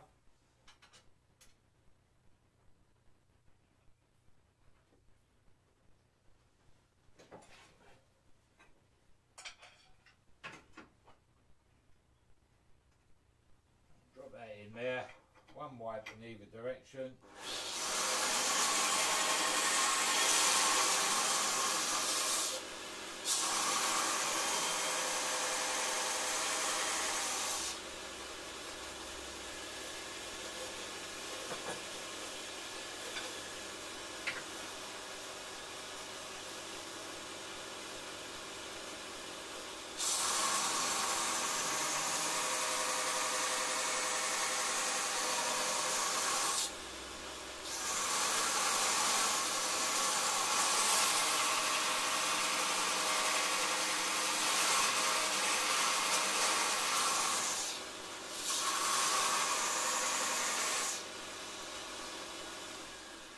So this now will give us a much coarser edge. You can almost see it. Um, I don't know what you can see on there, but now, in theory, the coarser edge won't go dull so quick. I moved that, I did. Let's just turn that on, put my old glasses back on. Let's see what happens now.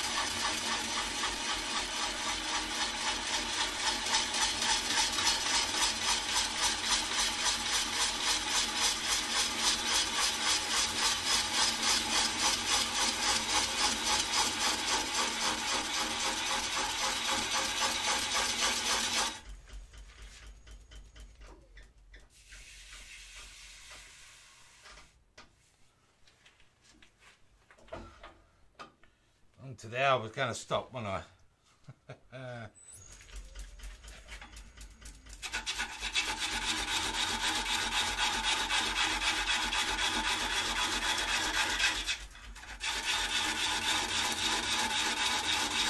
just wanted to get round before I stopped really.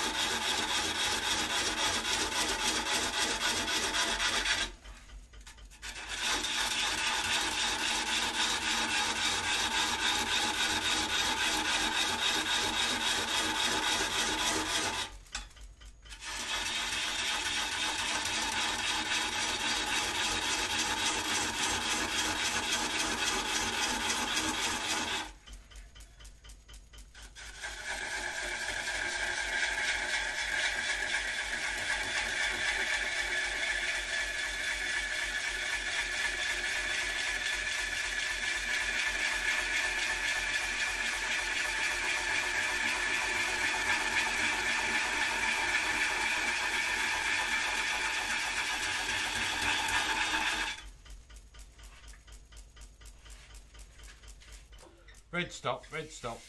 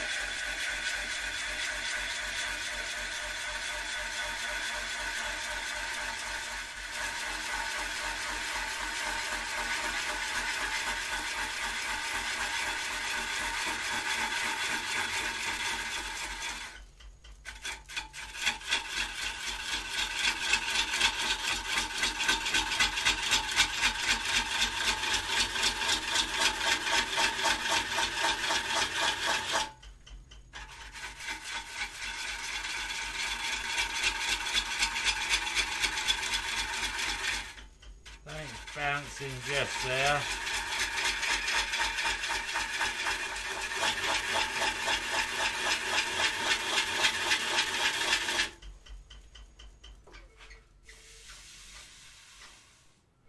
Ah, great big knots, burrs in there.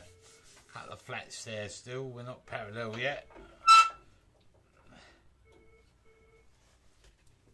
Okay, let's get that bit done. Let's get with it.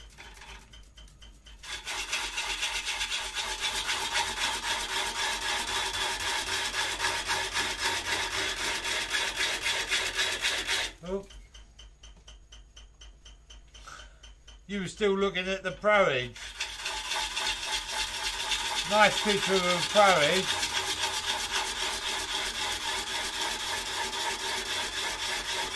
I put an extra monitor up so I can see what you're seeing. Keep getting a look at it.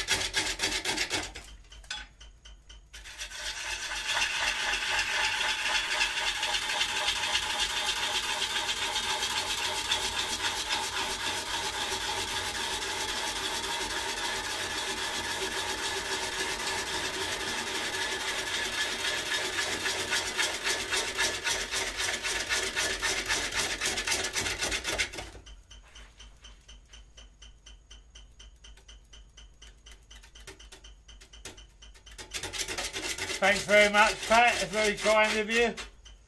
It's going to be a long day.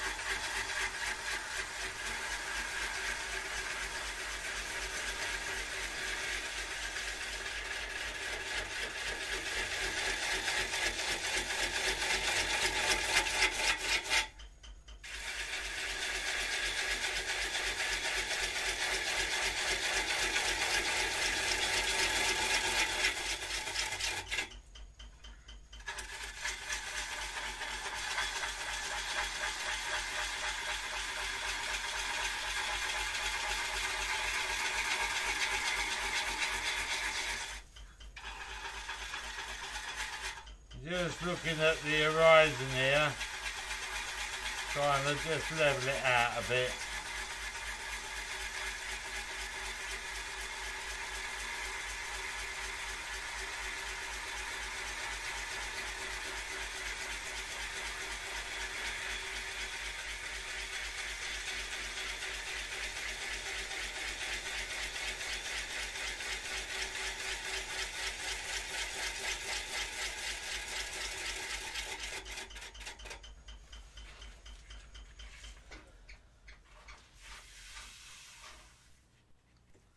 Still not quite round.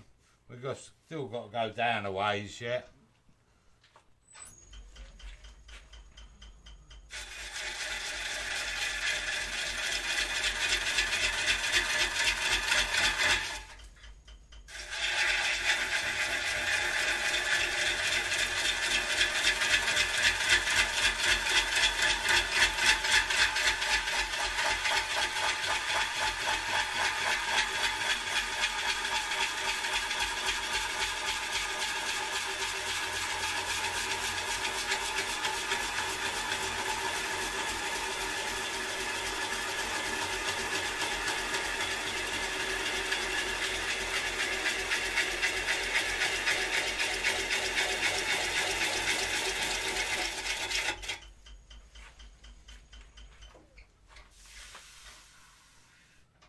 That bit's round. Let's come down, get rid of these couple of flat on here.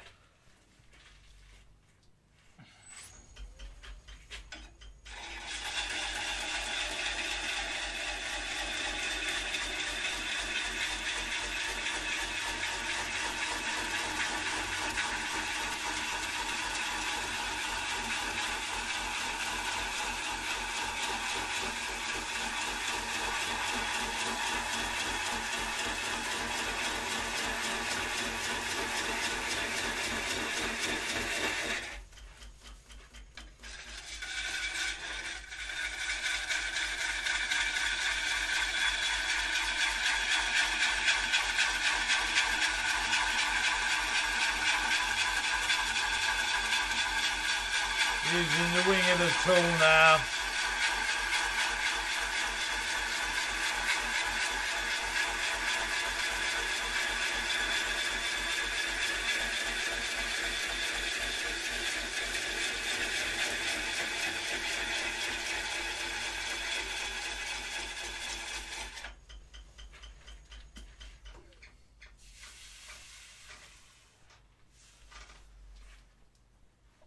Bring this down a bit.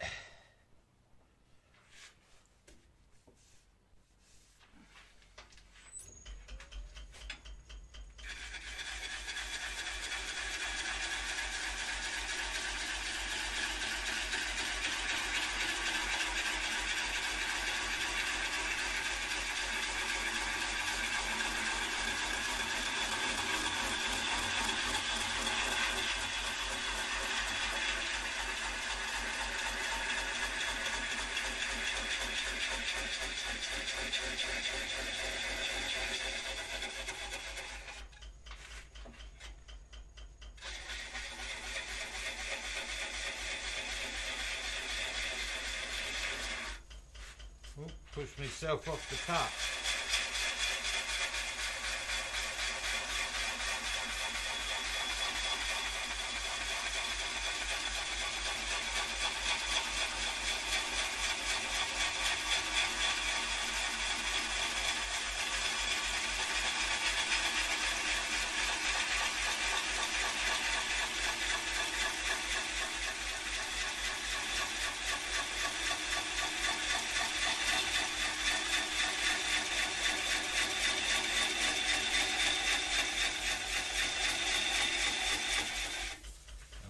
The tool rest there. There we go. Right, we're round. We are round.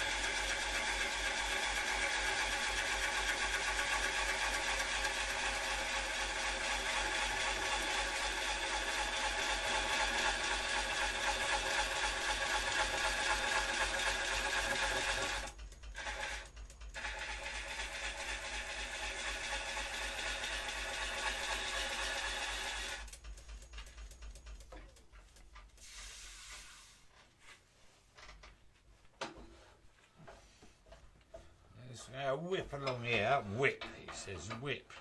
Not going to whip at all, are you? Just going to go at the speed that the lathe's going. Just slowly.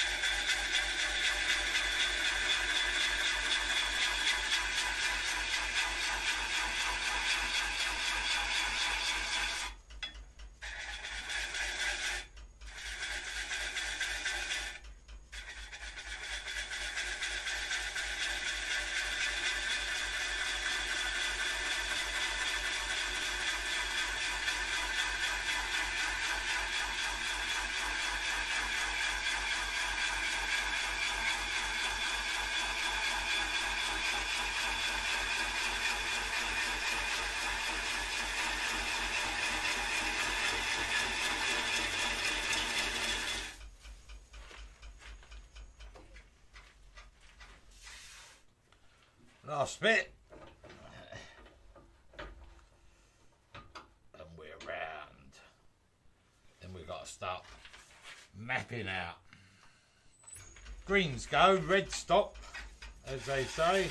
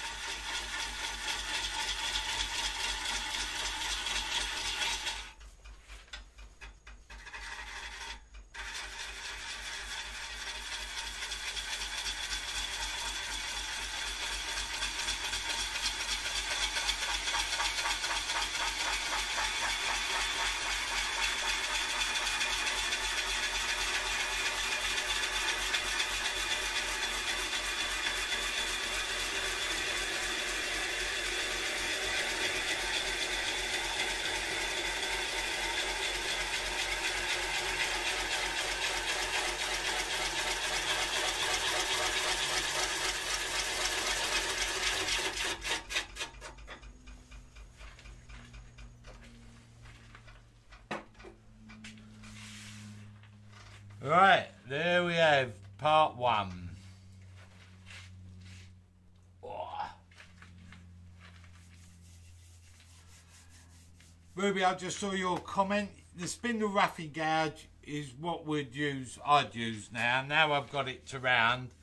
When it was a big log and bouncing around all over the place, um, it wasn't good. It needed something solid. So I went, opted for my big heavy bowl gouge um, but I will use the spindle roughing gouge on part two when I bring it level, start putting the dimensions in, marking out. Um, and then we'll use spindle turning tools probably. I have got a mountain of shavings down here, absolute mountain. If I come down to camera three, you see them. This is how deep they are. I'll Cover me boot. I mean, it's ridiculous. Um, uh, hey ho. Now we're into round. You can't see a keyboard over here. It's covered. Everything is absolutely covered. Just empty my keyboard off. Oh, what's happened there? You still see me? it's something on the keyboard and it all disappeared. I don't know if the uh, A10 disappeared or what, just clearing the shavings off. So, I'm going to stop for a uh, quick sandwich or something and a coffee. Um, the tannins on this oak is already started to discolour the lathe bed. So that'll need a clean. I should give it a protective coat of wax. Um, what I'm going to do is end of the stream and then I will turn. No, the cat disappeared. I'll turn the uh, live stream feed back on uh, this afternoon. So anybody that wants to pop by and have a look at what's going on and where it's coming to, um, then you'll be able to pop in and out and have a look. It's gonna take longer. I knew it was going to take a while. Uh, it's taken longer to get to this point than I anticipated, but I think that was the messing around trying to get it loaded. I should have left it loaded from last night. But anybody that was at the beginning could see the problems you have loading big bits of wood onto lathes and all the rest of it. It's far easier if you've got enough space. Bring the engine hoist in, hoist it into place, or you've got two of you. Uh, but there's only one of us, me.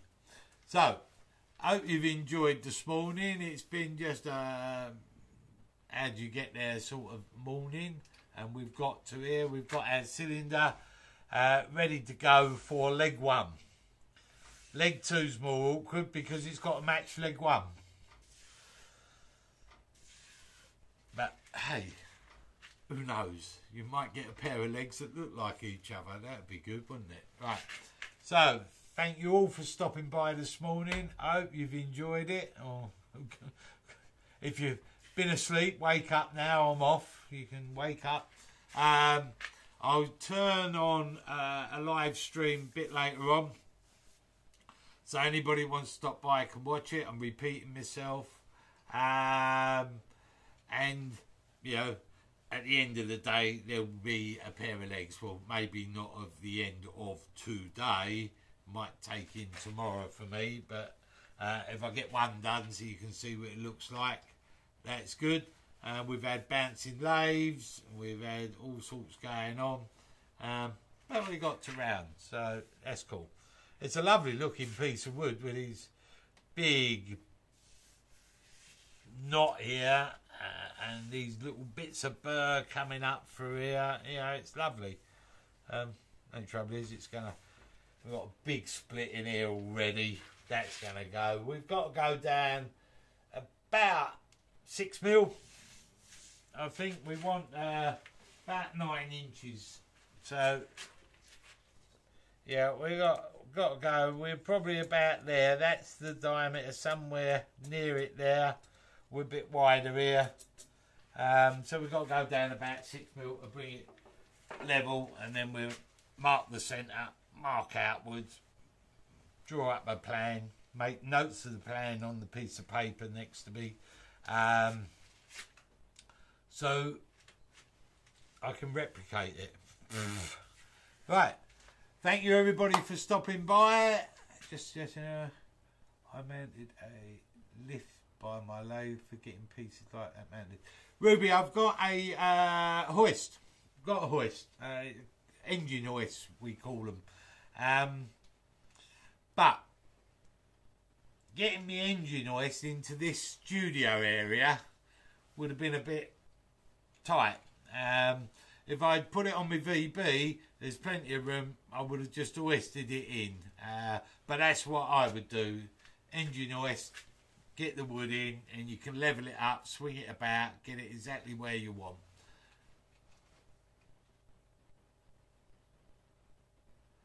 Uh, could it warp? It might might move. I don't think it will. It's a big solid piece of wood. Um, and I'm not too worried about that really because when it's finished, it's going to move and warp anyway and split and do all sorts of stuff. You know,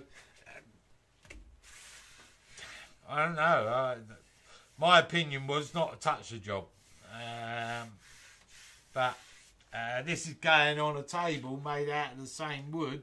So there's a frame being made and a top, and once these two legs, as I say, it's supposed to be going into a wine cellar um, that's humidity controlled and for the wine and everything. And who knows what's going to happen to it?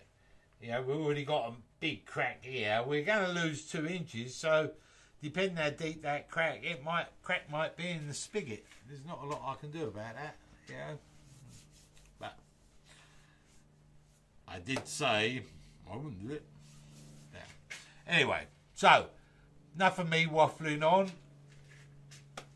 Hope you've enjoyed uh, part one of doing a table leg. I'll put the cameras back on later. I'm going to end the stream now.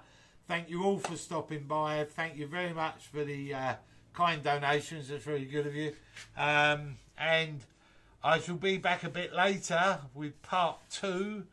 Uh, and if you feel like stopping by at any time throughout the day to see what's going on, I'll have the cameras running for you so you can see the progress. So, for now, it's time for a coffee and a sandwich.